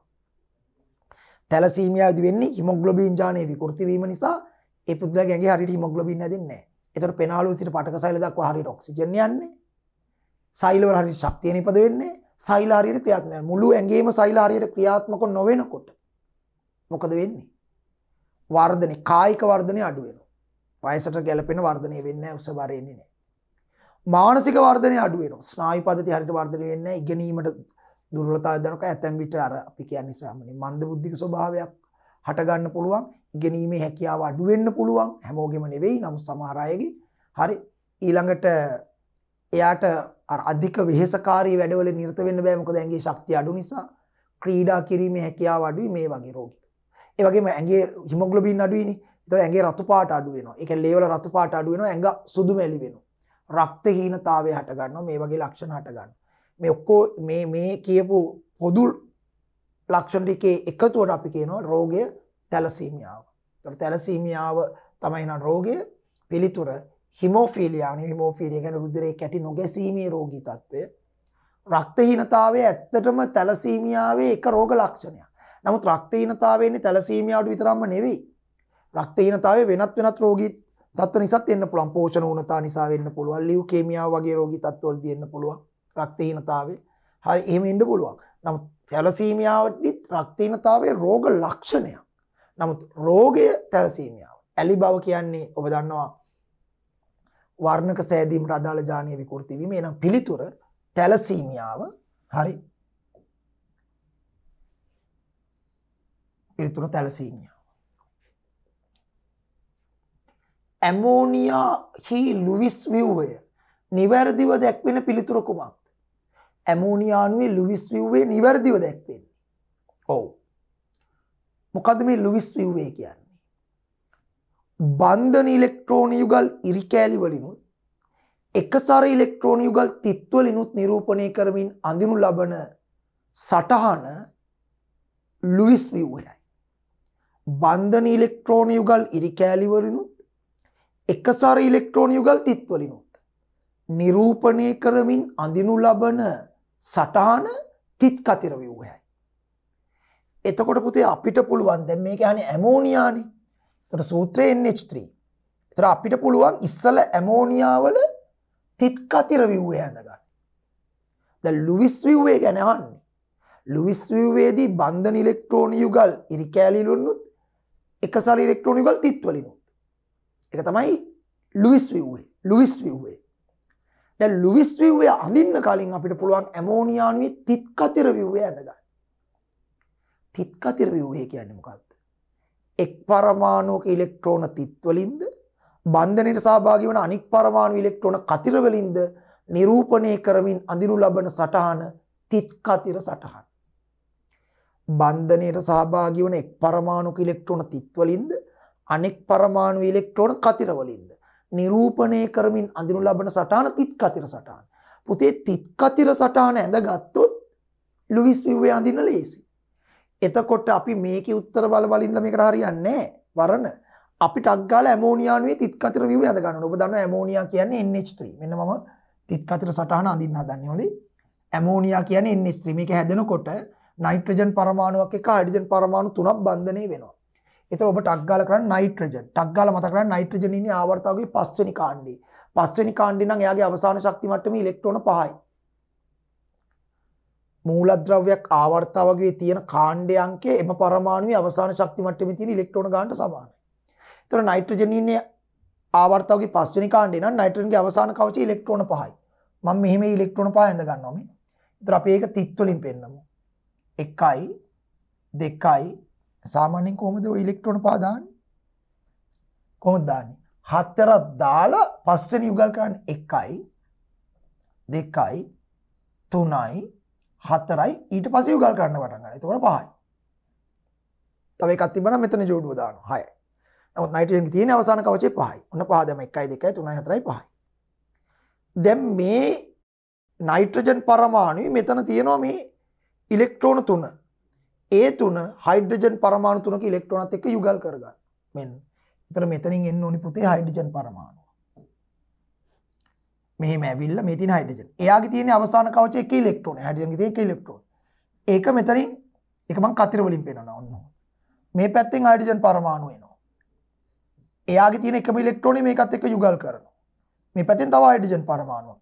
එයාගේ තියෙන එක ඉලෙක්ට්‍රෝන මෙතන යුගල් කරන එතකොට දැම් මේ කවච නැතුව ඇන්දොත් හරි ඇමෝනියානුව මේ වගේ දැන් කවචේ කවච රවුම් දාන්න ඕනේ. රවුම් දැමිය පරමාණුවල සීම පෙන දැන් රවුම් නැතුව ගමු. නයිට්‍රජන් ඉන්නවා. හරිද? මෙතන තියෙනවා මේ ඉලෙක්ට්‍රෝන දෙක. ඒක නයිට්‍රජන්ගම ඉලෙක්ට්‍රෝන දෙක. එකට කියන එක සර ඉලෙක්ට්‍රෝන යුගල ඒක බන්ධනයකට සභාගී උන්නෑන නයිට්‍රජන් වෙනත් කාත් එකරි බැඳීමට ලක් කරන්න දායක උන්නෑ නිව එක සර ඉලෙක්ට්‍රෝන යුගල මෙතන තියෙනවා හයිඩ්‍රජන් එක්ක මෙන්න බලන්න මේ බන්ධන ඉලෙක්ට්‍රෝනිකලක් එකක් නයිට්‍රජන්ගේ අනික හයිඩජන්ගෙන මෙහෙම. මෙතනත් තියනව තව බන්ධන ඉලෙක්ට්‍රෝනිය ගලක්න එකක් හයිඩජන්ගේ අනික නයිට්‍රජන් ඔය නයිටජන් ඉලෙක්ට්‍රෝන තිත් හයිඩජන් ඉලෙක්ට්‍රෝන කතරම පෙන්නලතිය එතර මෙතනත් තියෙනවා නෙහෙම එකක්.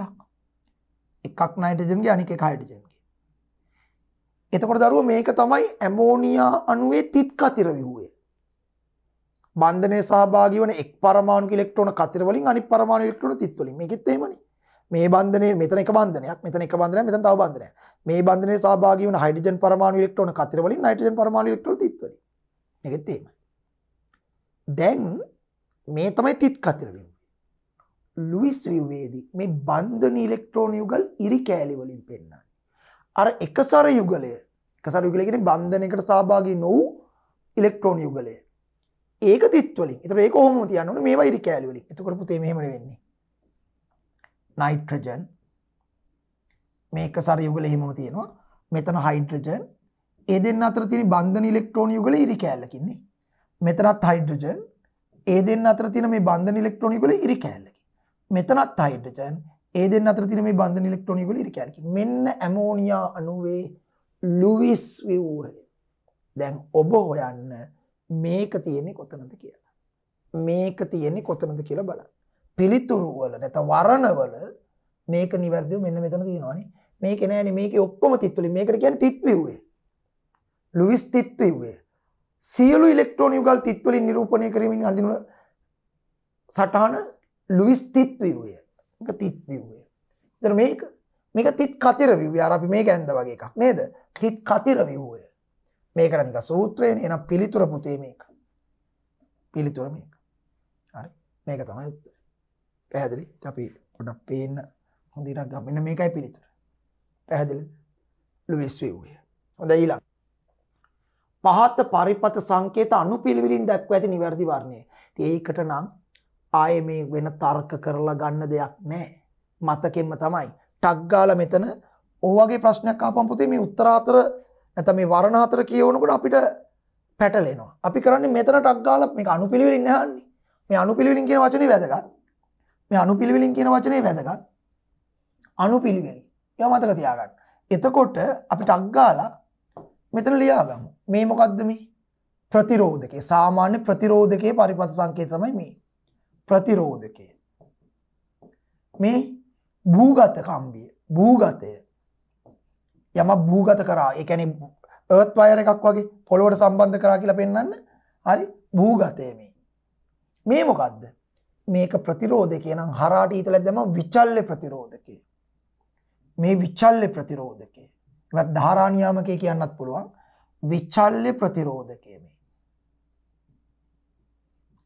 හරි. එතකොටස මේ මොකක්ද පුතේ දැන් මෙහෙම ඉරි දෙක තිබුණොත් හරි මේ විදියට නිකං දත් ලොකු ඉරයි කෙටිරයි තිබ කෝෂයන කෝෂය හරිද? මේ කෝෂය දිගීර ධනාග්‍රය කෙටීර රිනාග්‍රේ දි මේක දිගරයි කොට රජනස මේ කෝෂයත් කෝෂයත් තමයි. මේ තින දනුරනික දාලා හැබැයි මේ ඇතුළට ඊතල දෙයක් පෙනවා. කියන සූර්යාලෝකයේ පතනය වෙන කොටයි මේ කෝෂය ක්‍රියාත්මකෙන ඒ ඇන මේක සූර්ය කෝෂයක්. මේක පුතා සූර්ය කෝෂයක්. සූර්ය කෝෂයක්. දැන් නිකම් මෙහෙම සාමාන්‍ය විදිහට තිබ්බම සාමාන්‍ය කෝෂයක්. මේක තේරුම සූර්යාලෝකයේ පතනය වෙනකොටයි කෝෂයක් ලෙස හැසිරෙන්නේ. සූර්ය කෝෂය. එහෙනම් අනුපිළිවෙලින් තියෙන පිළිතුර වෙන්නේ ප්‍රතිරෝධකය භූගතය විචල්්‍ය ප්‍රතිරෝධකය සූර්ය කෝෂය. බලන් ප්‍රතිරෝධකෙන් පටන්ගත්තු පිළිතුරු මේ දෙක විතරයි. එන ඒ දෙක එකක් නිත්තර වෙන්න ඕනේ. දෙවනියට භූගතය. මේක දෙවනියට විචල්්‍ය ප්‍රතිරෝධ ගන්න බෑ. මේක භූගතය තියෙනවා. මේක තමයි උත්තරේ. අනිකවත් බලමු. තුන්වෙනියට විචල්්‍ය ප්‍රතිරෝධකය හතරවෙනියට සූර්ය කෝෂය නිවැරදි පිළිතුර මේකයි දරු. හරි. ඒ නිසා මේ වගේ වල ඊසි ප්‍රශ්න. හැබැයි මතකෙත් තියෙන්න ඕනේ. හරි. එනම් මේක තියෙන පරිපත සංකේත අනුපිළිවෙලින් දක්වා ඇති නිවැරදි වර්ණය ප්‍රතිරෝධකය භූගතය විචල්්‍ය ප්‍රතිරෝධකය සූර්ය කෝෂය පැහැදිලි? හරි. අවබෝධ වුණා. දැන් ඊළඟ ප්‍රශ්නට යමු. නීරෝගී පුද්ගලයෙකුගේ ගුච්චිකා පෙරණේ අඩංගු නොවන ද්‍රව්‍ය වන්නේ කුමක් අනදරුවෝ අන්න අපි එන්න ඕනේ නයිට්‍රජනීය බහිස්්‍රාවී පද්ධතියේ වකුගඩුවලට ඔබේ මනස ගෙනියන්න නයිට්‍රජනීය බහිස්්‍රාවී පද්ධතියේ වකුගඩුව ඇතුළට. වකුගඩුවක් තුළ තිබෙනවා මුත්‍ර පෙරීමේ කාරි ඉටු කරන ඉතාම කුඩා ඒකක රුක්කානුව තමයි වකුගඩුවකවත් රුක්කේක විව්වමේසා කෘත්‍යමයකගේ වකුගඩුවක් ඇතුළේ මුත්‍ර පෙරීමේ කාරකරණි වෘක්කානුවේ. එක වකුගඩුවක් ඇතුළේ වෘක්කානු මිලියනයක් එවත් දස ලක්ෂයක් විතර තියෙන. එක වකුගඩුවක් ඇතුළේ වෘක්කානු මිලියනයක් එවත් දසලක්ෂයක් පමණ තියෙන. මේ වෘක්කානුවක් මොන වගේද අපි දැක්ගෙනගෙන තියෙනවා වෘක්කානුවක් නේද හරිද මේ වගේ තියෙනවා වෘක්කානුවක බෝමන් ප්‍රාවරය බ්‍රෝමන්ගේ ප්‍රාවරය. අවිදුර සංවලිත නාලිකාව. හෙන්ලේ පුඩුවේ අවරෝහණ බාහුව. හෙන්ලේ පුඩුව. හෙන්ලේ පුඩුවේ ආරෝහණ බාහුව. විදුර සංවලිත නාලිකාව. ඒක ගිහිල්ල විවෘත වෙනවා සංග්‍රාහක ප්‍රනාලයට සංග්‍රාහක ප්‍රනාලයට මේ වගේ තවත් රුක්කානු වැඩි ගණනක විදුර සංවලිත නාලිකා විවෘත වෙන ඔන්න හෝ ඒකට කියන්නේ සංග්‍රාහක ප්‍රනාලය බෝමන් ප්‍රාවරය අවිදුර සංවලිත නාලිකාව හෙන්ලේ පුඩුව එකත් කොටස් තුනයි අවරෝහණ බාහුව ආරෝහණ බාහුව පුඩුව මේ ටික විදුර සංවලිත නාලිකාව සංග්‍රාහක ප්‍රනාලය දැන් පුතේ මේ බෝමන් ප්‍රාවරයට අර වකුගඩුවට රුද්‍රේ ලබා දෙන රුක්කීය දමනීය බෙදලා හැදෙන රුක්කීය දමනීය ශාකා. රුක්කීය දමනීය වකුගඩුවට රුධිරය දෙන රුක්කීය දමනීය රුක්කීය දමනීය වකුගඩුව ඇතුළේ බෙදලා රුක්කීය දමනිකාවට හැදෙනවා ඒ දමනිකා ශාකා මේකට එනවා ඒ දමනිකා ශාකා මේකට එනවා ඇවිල්ලා මේකෙදි ඒ දමනිකා ශාකා මෙතන දඟර ගැහෙනවා ඒ දඟර ගහලා රුධිර කේශනාලිකා ජාලයක් හදලා නැවත දමනිකාවක් ලෙස ඉවත් වෙලා යනවා. මේ රුධිර කේශනාලිකා ජාලයට තමයි අපි කියන්නේ ගුච්චිකාව. මේ රුධිරය අරන් එන දමනිකාවට කියන්නේ අභිවාහී දමනිකාව. අරන් යන දමනිකාවට කියන්නේ අපවාහී දමනිකාව. එතකොට මෙතන හැදෙන කේශනාලිකා ජාලයට කියන්නේ ගුච්චික කේශනාලිකා ජාලය නැත්නම් ගුච්චිකාව. මේ ගුච්චික කේශනාලිකා ජාලයේ රුධිර පීඩනය ගොඩක් වැඩි. හේතුව තමයි අභිවාහි දමනිකාවේ විස්කම්බේ වැඩි අපවාහි දමනිකාවේ විස්කම්බේ අඩුයි. ඒ කියන්නේ ලොකු නාලයකින් රුධිරය අරන් ගිහලා පොඩි නාලයකින් ඉවතට ගෙනියනවා. ඒතර මෙතන තෙරපෙනවා. තෙරපෙනකොට කේශනාලිකා බිත්තිය තුනී නිසා රුධිරයේ තියෙන සෑහෙන සංඝටක ප්‍රමාණයක් පෙරිලා සෑහෙන රුධිර සංඝටක ප්‍රමාණයක් පෙරිලා මේකට එනවා. සෑහෙන රුධිර සංඝටක ප්‍රමාණයක් පෙරිලා මේකට එනවා. මොනවද එන්නේ? ඒ පෙරෙන්න හේතුව තමයි එකක් පීඩනය වැඩිවීම මෙතන. දෙක තමයි කේශනාලිකා බිත්තියක් තුනි බෝමන් ප්‍රාවරය ඇතුල් බිත්තියක් තුනි. තුනී බිත්ති ළඟදී තෙරපීම වැඩි වෙනකොට රුධිරයේ තියෙන සංඝටක සෑහෙන ප්‍රමාණයක් පෙරිලා මේ බ්‍රෝමන් ප්‍රාවරය ඇතුළට එනවා. ඒ පෙරිලා එන ද්‍රාවණය රුධිරයෙන් පෙරිලා එන සංඝටක තියෙන ද්‍රාවණයට කියනවා ගුච්චික පෙරණය. ඒතර ගුච්චික පෙරණය anu ගුච්චිකාවේ තිබෙන අධිපීඩනයත් කේශනාලිකාසා බෝමන් ප්‍රාවරය ඇතුල් බිත්තියේ තියෙන තුනී ස්වභාවයත් හේතු කොටගෙන ගුච්චිකාව තුළ තියෙන රුධිරයෙන් පෙරි බ්‍රෝමන් ප්‍රාවරය තුළට පැමිණෙන ද්‍රාවණය ගුච්චික පෙරණයයි. ඒ ගුච්චික පෙරණේ තියෙන ඒව කියනට ොඩ ලේසි නැති ඒව කියන ඒමකොද සෑහෙන ප්‍රමාණයක් රුදිර සංගටක මෙතැදි පෙරෙනවා තෙරපීමට. පෙරෙන් නැත්තේ රුද්‍රේටියෙන් ටික ලොකු සංගටක විතරමක ලොකු සංගටකොට අර බිත්තිය කේෂනාලිකා බිත්තිය සහ රෝමන් ප්‍රාවර ඇතුළ බිත්තියර පෙරිලා එන්න බෑව ලොකු නිසා. මොනෝ දෙන්න ඇති රුදිර දේහානු එන්නේ ඒකිවේ රත්තු රුදුරානු සුදු රුදුරානු රුදිර පට්ටිකා මෙතනින් පෙරලා එන්නේ බොදේවල් ලොකුයි.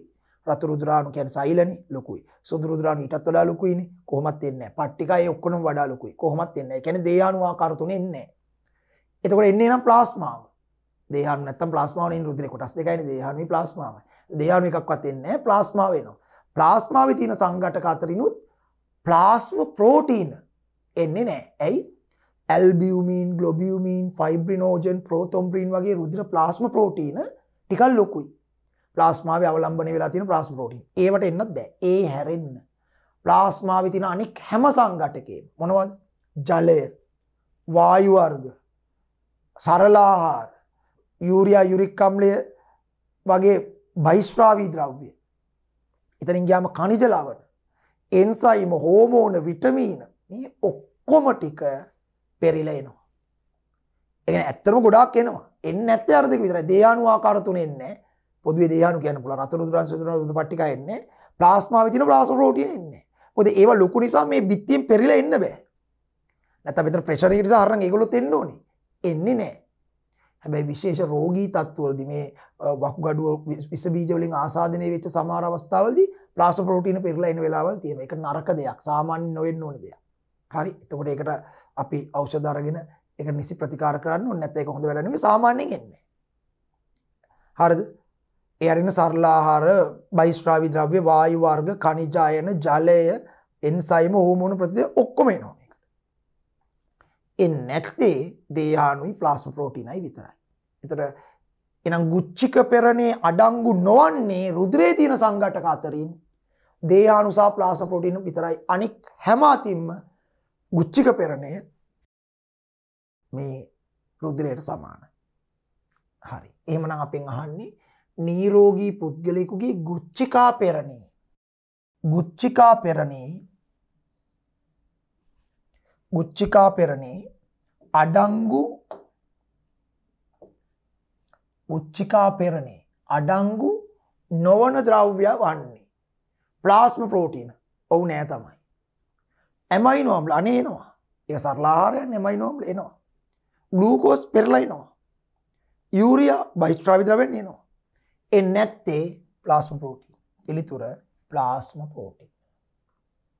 ප්ලාස්ම ප්‍රෝටීන නම් එන්නේ නෑ හරි? ප්ලාස්ම ප්‍රෝටීන එන්නේ නෑ පැහැදිලි? පිළිතුර ප්ලාස්ම ප්‍රෝටී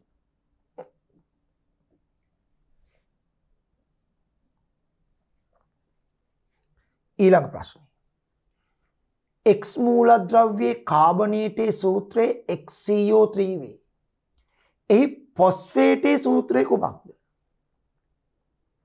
කාබනීටේ සූත්‍රය එක්සියෝ3ලු එක්මූල ද්‍රව්වේ ඒ පොස්ෆේටේ සූත්‍රය කුමක්ද?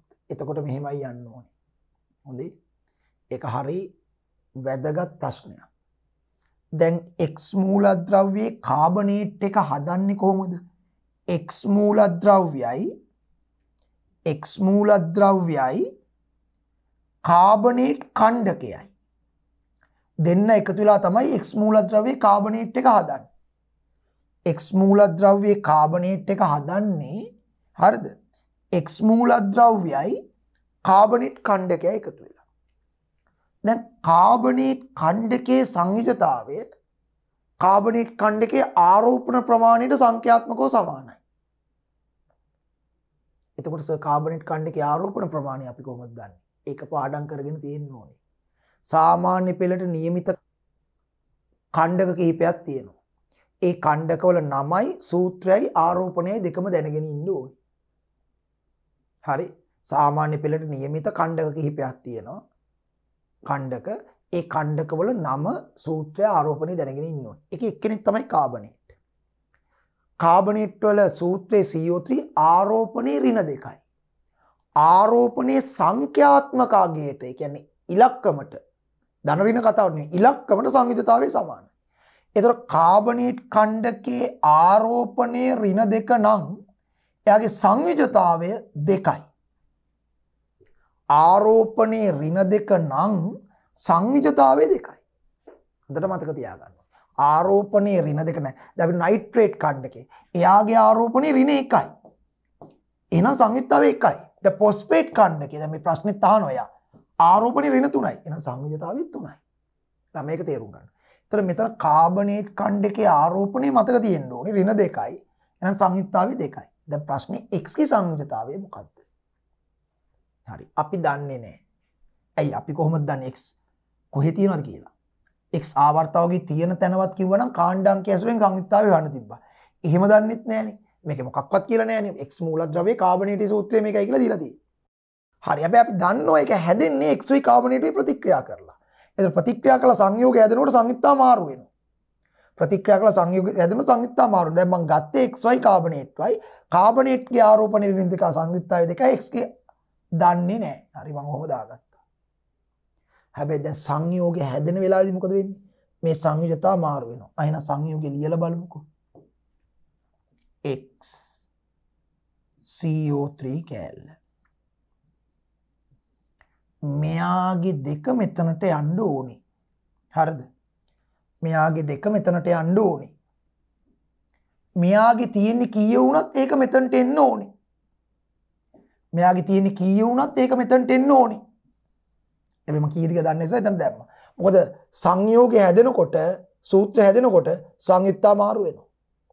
මෙයාගේ දෙක මෙතනට ගියගේ සමිත්තය දෙක බව දන්න නිසා මෙයාගේ දන්නේ නෑ මෙතනට ගිය. දන්න ඇතික ගියමකක්ද දැන් තාම දන්නේ හැබැයි ඔබට කියනවා මේක කාබනෙට් එකේ සූත්‍ර එක්සියෝත්‍රීලු එකන මේක උත්තරේ දීලා තියෙනවා. CO3 ඉතින්ස එක්සියෝත්‍රී නං කෝ මේ දෙක? ආ මෙතන තිබිච්ච දෙක නැති වෙලා. කෝස මේක මෙතනට එන්න ඕන එක? එකත් නෑ එහෙම උනේ ඇයි? එහෙම වෙන්න මේකයි. මේ දෙකේ සරල අනුපාතය එකට එක වෙලා තියෙනවා. එකයි තේරුම. අපි දන්න සාමාන්‍ය සූත්‍රයටකට සරල අනුපාතය ගන්නවා. මෙතන දෙක තිබිලා මෙතන මොකක්ද මන්ද ඉලක්කමත් තිීලා තියෙනවා. දෙන්නගේ සරල අනුපාත එකට එක වෙලා තියෙනවා. අපි දන්න සූත්‍රවල එක ලියන්නේ එතකොට දෙකට මේ අනුපාතය එකට එක වෙලා. එකට එක උනාම සූත්‍රවල එක ලියන්නේ නිසා මේ එක ලියලා නැත්තර මෙතන එක තියෙනවා. කාබනේට් කෑල්ලේ එක තියෙනවා නමුත් සූත්‍රවල එක ලියන්න ඉස්සලා ලියලා නැහැ. එහෙනම් ළමයා තේරුම් ගන්න ඕනේ මෙතන මේවා ඇවිල්ලා නැත්තේ සරල අනුපාතය එකට එක නිසා. සරල අනුපාතය එකට එක නිසා තමයි මේ ඇවිල්ලා නැත්තේ. ඒ කියන්නේ මේක මෙහෙම තියෙන්නේ. ඔන්න ඕම. හරිද? x ගේ ළඟ එකයි කාබනේට් කෑල්ල ළඟත් එකයි. සාමාන්‍ය සූත්‍රවල එක ලියන්නේ නැති නිසා හරිද? සාමාන්‍ය සූත්‍රවල එක ලියන්නේ නැති නිසා x ලියලා තියෙනවා එක නැතුව මේකෙත් එක ලියන්න නැත්තා වරහන වැඩකුත් නැන වරහන ඕනි වරහනතුලින් ඉලක්කම ලියනවනන්නේ දැන් මේ එක ලියන්නේ සම්ප්‍රදායක් හැටියට. එක ලියන්න ඕනේ කාබනේට් කෑලි එකයි. එහෙනම් ඉතින් කාබනේට් කෑල්ල විතර ලියුවම ඇතිනේ ඒතර වරහන ඕනේ ඒ නිසා තමයි මෙහෙම තියෙන්නේ. එහෙනම් මෙහෙම තිබ්බට ළමයා තේරුම් ගන්න ඕනේ x එකයි කාබනේට් එකයි මේ තියෙන්නේ. X එකට කාබනේට් එකයි. ඒ කියන්නේ මේ දෙන්නගේ අනුපාතය එකට එකයි. සරල අනුපාතය එකට එක වෙන දැන් රිවර්ස් එකට යන්න. හරිද? සූත්‍රයේ CO3 එකැන X එකට කාබනේට් එකයි. X එකට කාබනේට් එකයි. එයනු එක්සා කාබනේට් අතර සරලානුපාත එකට එක වෙන්න නම් මෙතන තිබිය යුත්තේ මේක දෙකනේ. මෙතන දෙක තිබිය යුතුයි. නේද? මෙතන දෙක. දෙකට දෙක තිබ්බොත් තමයි සරල අනුපාත එකට එක වේ එහෙනම් අන්න දරුවෝ අපි හොයාගත්තා මෙතන දෙකයි මෙතන දෙකයි කැනිච්චරයි වාගන්න තියෙන්නේ. මේක මෙතන්ට එන්නේ එක්ගේ කනිමෙන්නේ එහෙනම් එක් කියන්නෙත් දෙකයි. එතනත් දෙකයි. දැම් වැඩි හරි. දැම් වැඩි හරි. එක් කියන්නේ දෙකයි. අන්න ඒ කියන එක්ගේ සංවිජතාවය දෙකයි. ඕක හොයා ගන්න තමයි මෙතන ප්‍රශ්න තිබ හරිද? කොහොමද ලස්සට ගිය පිදි දැක්කත්? කාබනේට්වල ආරෝපනය රින දෙකයි කියලා මතක තියෙන්න්නත් ඕන. එනිසා සංයුත්තාවේ දෙකයි. මෙයාගේ දැනගෙන හිටියේ නෑ මාරු කල බැලුවම් මේ දෙක මෙතැන්ටාව මෙතන දන්නේ. හැබැයි සූත්‍රය බැලුවම එක්ෝ3 එක් එකට CO3 එකයි එකට එක සරල අනුපාත වෙන්න මෙතන දෙක තියෙදි මෙතන දෙක තියෙන්න ඕනේ. ඒ කියන්නේ මෙතන දෙකේ එන්නේ x ගේ දෙකයි මෙතනට එන්න x සංයුක්තාවේ දෙකයි කියලා හොයාගත්තා. දැන් වැඩේ ඉවරයි. දැන් අපිට පුළුවන් අහන ප්‍රශ්න උත්තර ලියන්න. x ගේ සංයුක්තාව හොයාගන්න එක තමයි මේක වැඩි තිබුණේ. එහි පොස්පේටේ සූත්‍රය. දරුවෝ දැන් පොස්පේට් එක හදන්නේ x උයි පොස්පේට් උයිනේ. මෙන්න. දැන් වැඩි ලේසි. මේ x උයි පොස්පේට් උයි. දැන් අපි දන්නවා x සංයුක්තාවේ දෙකයි පොස්පේට් මේ තියෙන්නේ ආරෝපණයේ ඍණ තුන නම් සංයුක්තාවේ තුනයි. ආරෝපණයේ සංඛ්‍යාත්මක අගයට සංයුක්තාවේ සමානයි. ආරෝපණයේ ඍණ තුන නම් සංයුක්තාවේ තුනයි. දැන් ලං කරලා මාරු කරන්න. දෙන්න මෙහෙම ලියලා දෙන්නගේ සංයුක්තා මාරු කරන්න. මේ තුන මෙතනින් ලිව්වා මේ දෙක මෙතනින් ඔය දෙක ලියන්න ඕනේ. මොකද තුනට දෙක කියන එකට ඊට වඩා සරල අනුපාතයක් නැහැ. දැන් මෙතන දෙකට දෙක කියන එකට සරල අනුපාතය තිබ්බ. එකට එක. ඒක නිසා තමයි එකට එක ආවේ. එක ලියන්න නැති සමේ මුනේ. දැන් මේකේ සරල අනුපාතය x 3ට ෆොස්ෆේට් දෙකයිනේ ඒක 3ට දෙක කියන එකට ඊට වඩා සරල අනුපාතයක් නැහැනේ මේක තමයි සූත්‍රය. X3 PO4 twice. X3 PO4 twice. එන උත්තරේ පුතේ x3 PO4 twice මේ තියෙන පිළිතුර. X3 PO4 twice. ඔන්න උත්තරේ x3 PO4 twice. පැහැදිලි? හොඳයි අපි යමු ඊළඟ ප්‍රශ්නේ බලන්න. වස්තුවක් මත බලයක් ක්‍රියාත්මක වීමේදී සිදුවිය නොහැකි කරුණ වන්නේ. අනපුතේ. ඔබ දන්නවා බලයක් මගින් කළ හැකි කාර්යයන් අපි බලය පාඩමේදී කතා කරා. දහවන ශ්‍රේණියේ පළවෙනි වාරේ භෞතික විද්‍යාවේ බලය කියන මාර්ථකාවද අපි කතා කරා බලයක් මගින් කරන්න පුළුවන් කාර්යයක්. වස්තුවක් මත බලයක් යෙදීම නිසා කරන්න පුළන් කාරයන් කිහිපයක් තියෙන එකක් තමයි නිශ්චල වස්තුවක් චලනය කරන්න පුළුවන් බලයක් නිසා. නිශ්චලව තියෙන වස්තුවක් චලනය කරවන්න පුළුවන්. පාපන්දුවක් නිශ්චලව තියෙනකොට පාදයෙන් බලයක් දීලා පාපන්දු චලනය කරන්න නිශ්චල වස්තුවක් චලනය කරවන්න පුළුවන්. චලනය වන වස්තුවක් නිශ්චල කරවන්න බලයක් මගින්. චලනය වන වස්තුවන් නිශ්චල කරන්න. චලනය වන වස්තුවක ගමන් දිශාව වෙනස් කරවන්න පුළන් තුන්වෙනි එක. බලයක් යොදලා එක පැත්තර ගමන් කරන වස්තුවට වෙනත් පැත්තර බලයක් දීලා ගමන් දිශාව වෙනස් කරවන්න පුළුවන්. චලනය වන වස්තුවක ප්‍රවේගයේ විශාලත්වය වෙනස් කරන්න පුළුවන්. ඒ කියන්නේ එක්ක වැඩි කරන්නේ නැත්නම් අඩු කරන්නේ. ගමන් දැන් වස්තුව යනවා කියලා හිතන්නකෝ. ගමන් කරන පැත්තටම බලයක් දුන්නොත් ප්‍රවේගය වැඩි වෙනවා. ත්වරණයට ලක් වෙනවා. ගමන් කරන වස්තුවට ගමන් කරන දිශාවට විරුද්ධව බලය දුන්නොත් එතකොට ගමන් කරන ප්‍රවේගය අඩුවීමේවත් මන්දනයට ලක් වෙනවා. දැන් වාහනයකට බ්‍රේක් නැත්නම් තිරිංග යොදනවයි කියන්නේ ඒක. වාහනේ එක් දිශාවට ගමන් කරනකොට අපි රෝද මත ඊට විරුද්ධ දිශාවට බලයක් යොදනවා. එතකොට වාහනේ ගමන් කරන ප්‍රවේගය එන්න එන්න අඩු වෙනවා. මොකද චලිත දිශාවට නෙමෙයි බලය තියෙන ඊට විරුද්ධ පැත්තට. එතකොට චලනය වෙන්න අපහසු වෙනවා ප්‍රවේගය අඩු වෙලා මන්දනයට ලක් වෙනවා. හැබැයි චලනය වෙන පැත්තටම බලයක් දුන්නොත් දැන් එන්ජින් එකෙන් බලය දෙන්නේ චලනය වෙන පැත්තට. වාහනේ. එතකොට තව තව ප්‍රවේගය වැඩි වෙනවා. චලිත ප්‍රවේගය වැඩි වෙනවා ත්වරණය වෙනවා. එහෙනම් වස්තුව චලනය වෙන වස්තුවක් මත බලයක් දීලා වස්තුවේ ප්‍රවේග වෙනසකට ලක් කරන්න පුළුවන් ත්වරණයකට හෝ මන්දනය. ඊළඟට වස්තුවකට බලයක් දීලා වස්තුවක හැඩය වෙනස් කරන්න පුළුවන්. රබර් පටියකට දෙපැත්තෙන් බලය දුන්නම රබර් පටිය ඇදිලා හැඩය වෙනස් වෙනවා. සර්පිල දුන්නක් මත බලය යෙදුවම දුන්න තෙරපිලා හැඩේ වෙනස් වෙනවා. එනම් වස්තුවකට නේ යකඩ කෑල්ලකට ප්‍රබල බලයක් යොදලා යකඩ කෑල්ල නවල හැඩේ වෙනස් කරන්න වස්තුවක් මත බලයක් යොදලා වස්තුවක හැඩේ වෙනස් කරන්න පුළුවන්. ඒ වගේම තමයි වස්තුවක් මත බලයක් යොදලා ඇතැම් අවස්ථාවල වස්තුව යම් අක්ෂයක් වටා භ්‍රමණය කරවන්නට පුළුවන්. උදාහරණයක් ඇටියට ජලකරාමයකට ඇගිලි තුඩු දෙකෙන් බලයක් දිල බල යුග්මයක් දුන්නම ජලකරාමේ එහි මධ්‍යක්ෂය වටා භ්‍රමණය වෙන. වාහනේ සුක්කානට අත් දෙකෙන් බලයුග්මයක් දුන්නම වාහනේ සුක්කාන මේ මධ්‍යක්ෂය වටා භ්‍රමණය වේ. එනම් ඔය තමයි බලයක් යෙදීමෙන් කරන්න පුළුවන් කාර්යයක්.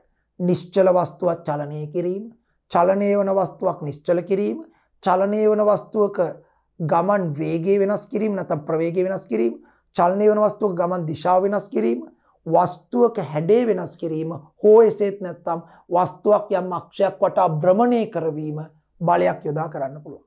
දැන් මෙතන ප්‍රශ්නය ආන්නේ වස්තුවක් මත බලයක් ක්‍රියාත්මක වීමේදී සිදු විය නොහැකි සිදු විය නොහැකි සිදුවිය නොහැකි කාරණය කුමක්ද කියලායි අපෙන් අහන්න. හරිද? ස්කන්ධය වෙනස් වීම බලයක් යෙදුවයි කියලා වස්තුවේ ස්කන්ධය වෙනස් වෙන්න බෑනේ දරුවෝ. ස්කන්ධය කියන්නේ එම වස්තුවේ තියෙන පදාර්ථ ප්‍රමාණය. ස්කන්ධය කියන්නේ එම වස්තුවේ තියෙන පදාර්ථ ප්‍රමාණය. ඉතින් අපි බලය යෙදුවයි කියලා එයාගේ තියෙන පදාර්ථ ප්‍රමාණය වෙනසක් වෙන්නේ නැහනේ. ස්කන්ධය වෙනසක්කට ලක් වෙන්නේ නැහැ. හැබැයි බලන්න ප්‍රවේගය වෙනස් වීම. ඕ චලිත පැත්තට බලය දුන්නොත් එහෙම ප්‍රවේගය වැඩි වෙනවා ත්වරණය වෙනවා. චලිත දිශාවට විරුද්ධව බලය දුන්නොත් ප්‍රවේගය අඩු වෙනවා මන්දනය. නම් ප්‍රවේගය වෙනස් වෙන්න පුළුවන්. හැඩේ වෙනස් වීම අපි කිව්වනේ බලයක් යොදලා හැඩ වෙනස් කරන්න පුළුවන්. දැන් වාහන දෙකක් එකට ගැටීමේදී එක් වාහනයකින් අනෙක් වාහනට බලය දෙනවා. වාහනේ හැඩේ වෙනස් වෙනවනේ. එප්පුණාම ඇද වෙනවනේ නේ. හරි. දිග වෙනස් වීම වෙන්න පුළුවන් නේ. දැන් රබර් පටියකට බලයක් දුන්නා රබර් පටියේ දිග වැඩි වෙනවා. වෙන්න පුළුවන්. හැබැයි ස්කන්ධය වෙනස් වීම වෙන්න බෑ. සාමාන්‍ය. හරිද? එහෙනම් බලයක් යෙදීම නිසා සිදුවිය නොහැකි කරුණ වන්නේ ස්කන්ධය වෙනස් වීම. තර ස්කන්ධය වෙනස් වීම. ඊළඟට මානව දේහය තුළදී ග්ලයිකොජන් ගලූකෝස් බවට පත් කරන හෝමෝනය වන්නේ. ග්ලයිකොජන් ගලූකෝස් බවට පත් කරන හෝමෝනය වන්නේ. අන වච්චන බලන්න ග්ලයිකොජන් ගලූකෝස් බවට පත් කරන හෝමෝනය මෙන්න මේකයි අහන්න අපි. හරි තකොට දරු අපි දන්නවා අපේ ශරීරයේ විවිධ ස්ථානවල තියෙනවා හෝමෝන නැමති රසායනික ද්‍රව්‍ය නිපදවන ග්‍රන්ථි. ඒවට කියන්නේ අන්තරාසර්ග ග්‍රන්ථි. අපේ ඇඟේ තියෙනවා හෝමෝන නැමති රසායනික ද්‍රව්‍ය නිපදවන ග්‍රන්ථි. අපි ඒවට කියන්නේ අන්තරාසර්ග ග්‍රන්ථි. අන්තරාසර්ග ග්‍රන්ථි. දැන් හෝමෝන යනු මොනවාද? ඔන්න ඊළඟ ප්‍රශ්නේ. හෝමෝන කියන්නේ මොකක්ද පුතේ? හෝමෝනයකට අර්ථ දැක්වීමක් තියෙනවා. මොනවද? අන්තරාසර්ග ග්‍රන්ථි මගින් නිපදවා ශ්‍රාවය කරනු ලබන්නා වූද?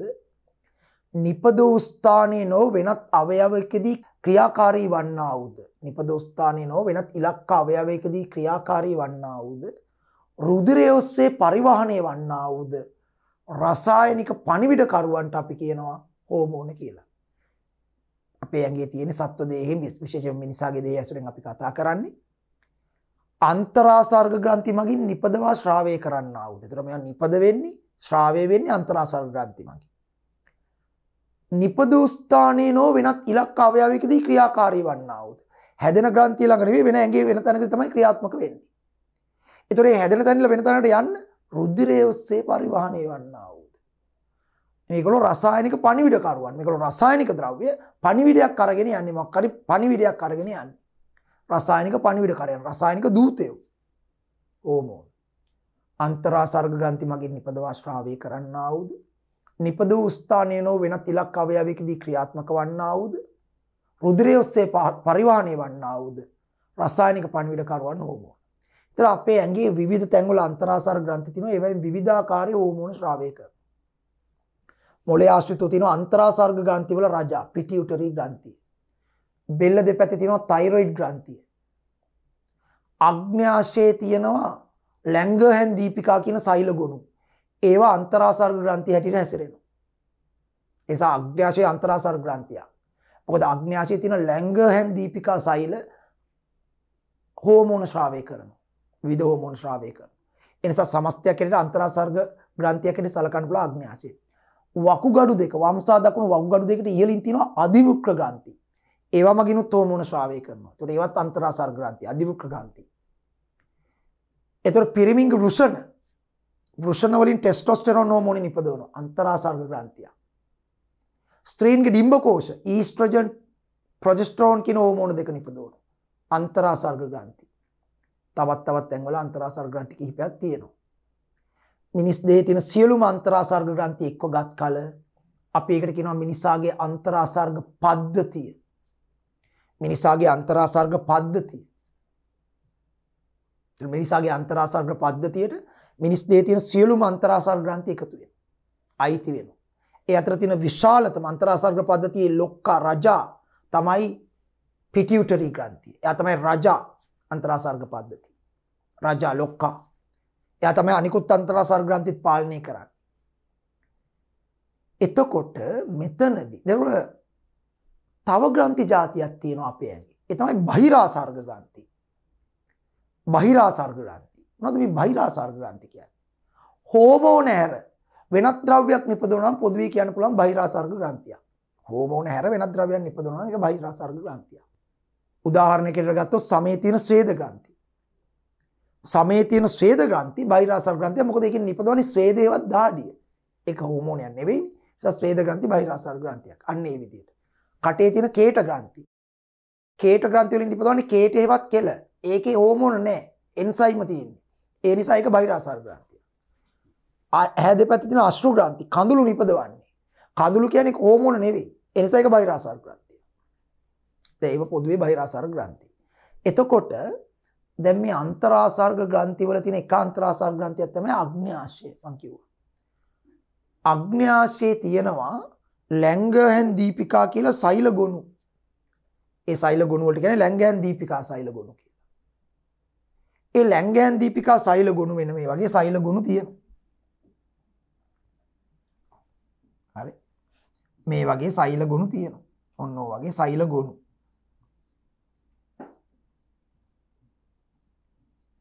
ඔන්න හොම හොම සෛල ගුණු තියෙනවා. එක අග්න්‍යාශ පටකයක් අන්වීක්ෂ නිරීක්ෂණය කරාම ලැංගහැන් දීපිකා සෛල ගොනු හඳුන ගන්න පුළුවන්. ඕ හරි. මෙහෙම තියෙනවා. දැන් මේ ලැංගෑන් දීපිකා සෛල ගොනුවල සෛලාකාර තුනක් තියෙනවා. මේ මේ ගොනුවේ සෛල වර්ග තුනක්. සෛල තුනක් නේ දැන් බැලු බැලමටත් පේනවනේ මේකේ සෛල තුනට වඩා වැඩියෙන් තියෙනවා. සෛල වර්ග තුනක් තියෙනවා. මොනවද මේ සෛල වර්ග තුන? ඇල්ෆා සෛල බීටා සෛල ගැමා සෛල ඇල්ෆා සෛල බීටා සෛල ගැමා සෛල මේ අතරින් ඇල්ෆා සෛල නිපදවනවා ග්ලූකගන් කියන හෝමෝනේ. ග්ලූකගන් ග්ලූකගොන් කියලත් කියන කට්ටේ ග්ලූකගන්. ඇල්ෆා සෛල නිපදවන්නේ ග්ලූකගන්. බීට සෛල නිපදවනවා ඉන්සිවලීන් ඉන්සිවලීන් හෝමෝන් ගැමා සෛල කියල ජාතිකුත් තියෙනවා. හැබැයි මේක ඔබේ විෂය නිර්දේශය නෑ. මේ ගැමා සෛල වලින් නිපදවන්නේ ස්ටොමැටොස් ටැනීන් කියලා හෝමෝනයක් ස්ටෝමැටොස් ටැනීන් කියලා හෝමෝන ස්ටොමැටොස් ටැනීන් දැන් මේක ඔබේ විෂය නිර්දේශය නැති නිසා මම මේක අහක් කරනවා. හොඳේ? ඔබ හිතන්න සෛල වර්ග දෙකයි තියෙන්නේ. ඇල්ෆා සෛලයි බීටා සෛලයි. ඇල්ෆා සෛල ග්ලූකගන් හෝමෝනේ ශ්‍රාවය කරනවා බීටා සෛල ඉන්සියුලින් හෝමෝනේ ශ්‍රාවය කරනවා. දැන් මේ ග්ලූකගන් හෝමෝනෙන් කරන්නේ මොකක්ද ග්ලූකගන් හෝමෝනෙන් කරන්නේ හරි ග්ලයිකෝජන්. ග්ලයිකෝජන් කියන්නේ ග්ලූකෝස් වල පොලිසැකරයිඩ් ආකාරයේ. හරි ග්ලයිකෝජන් ග්ලයිකෝජන් පත් කරනවා එහි සරල පලේ වෙච්ච ගලූකෝස් බවට. ග්ලයිකෝජන් එහි සරල පලේ වෙච්ච ගලූකෝස් බවට බිඳ වැට්වීමේ ක්‍රියාවලිය කරන්නේ ගලූකගන්න ඕමෝ. මේක ගලූකගන් හරිනේද වචනේ ගලූකගන් හරි. එතර මේක සිද්ධ වෙන්නේ සයිල් ශරීරයට ගලූකෝස් අවශ්‍යතාවයක් කාපු වෙලාවට. කැන අපිට ගලූකෝස්ටිකම් මදිනං අපේ ඇගේ රුදිරේ ලේවල ගලූකෝස් මදිනං අර අක්මාවේම ගබඩා වෙලා තියෙන ග්ලයිකෝජන්. සත්ගේ තවත් තැන්වල ඔය පේශිවල අක්මාවේ ග්ලයිකෝජන් ගබඩා වෙලා තියෙන ඒ ග්ලයිකෝජන් ග්ලූකෝස් බවට පත් කරනවා මේ හෝමෝනින්. එතකොට ඒක රුධිරයට ලැබිලා රුධිරේ ග්ලූකෝස් මට්ටම අවශ්‍ය ප්‍රමාණයට එනවා. ඉන්සියුලින් ගන්න ඒක අනිත් පැත්ත. ඒ කියන්නේ ඉන්සියුලින් කරන්නේ අපි කාපු වෙලාවට වැඩිපුර අපේ ආර්ජීන පද්ධති දිරෙව්වට පස්සේ වැඩිපුර ග්ලූකෝස් ටික අක්මා විසා පේශිවල ගබඩා කරනවා ග්ලයිකෝජන් ලෙස. ග්ලූකෝස් කියන සරල ද්‍රව්‍ය එහි සංකීර්ණ ඵලය වන ග්ලයිකෝජන් බවට පත් කරලා ග්ලයිකෝජන් බවට පත් කිරීම. ග්ලයිකෝජන් බවට පත් කිරීම තමයි මේ ඉන්සිලින් හෝමෝනින් කරන්න. එතර එක කරන්න ඉන්සිවලි එතර එක කරන්න ඉන්සිවලි ඉන්සිවලින් තමයි එක කරන්න.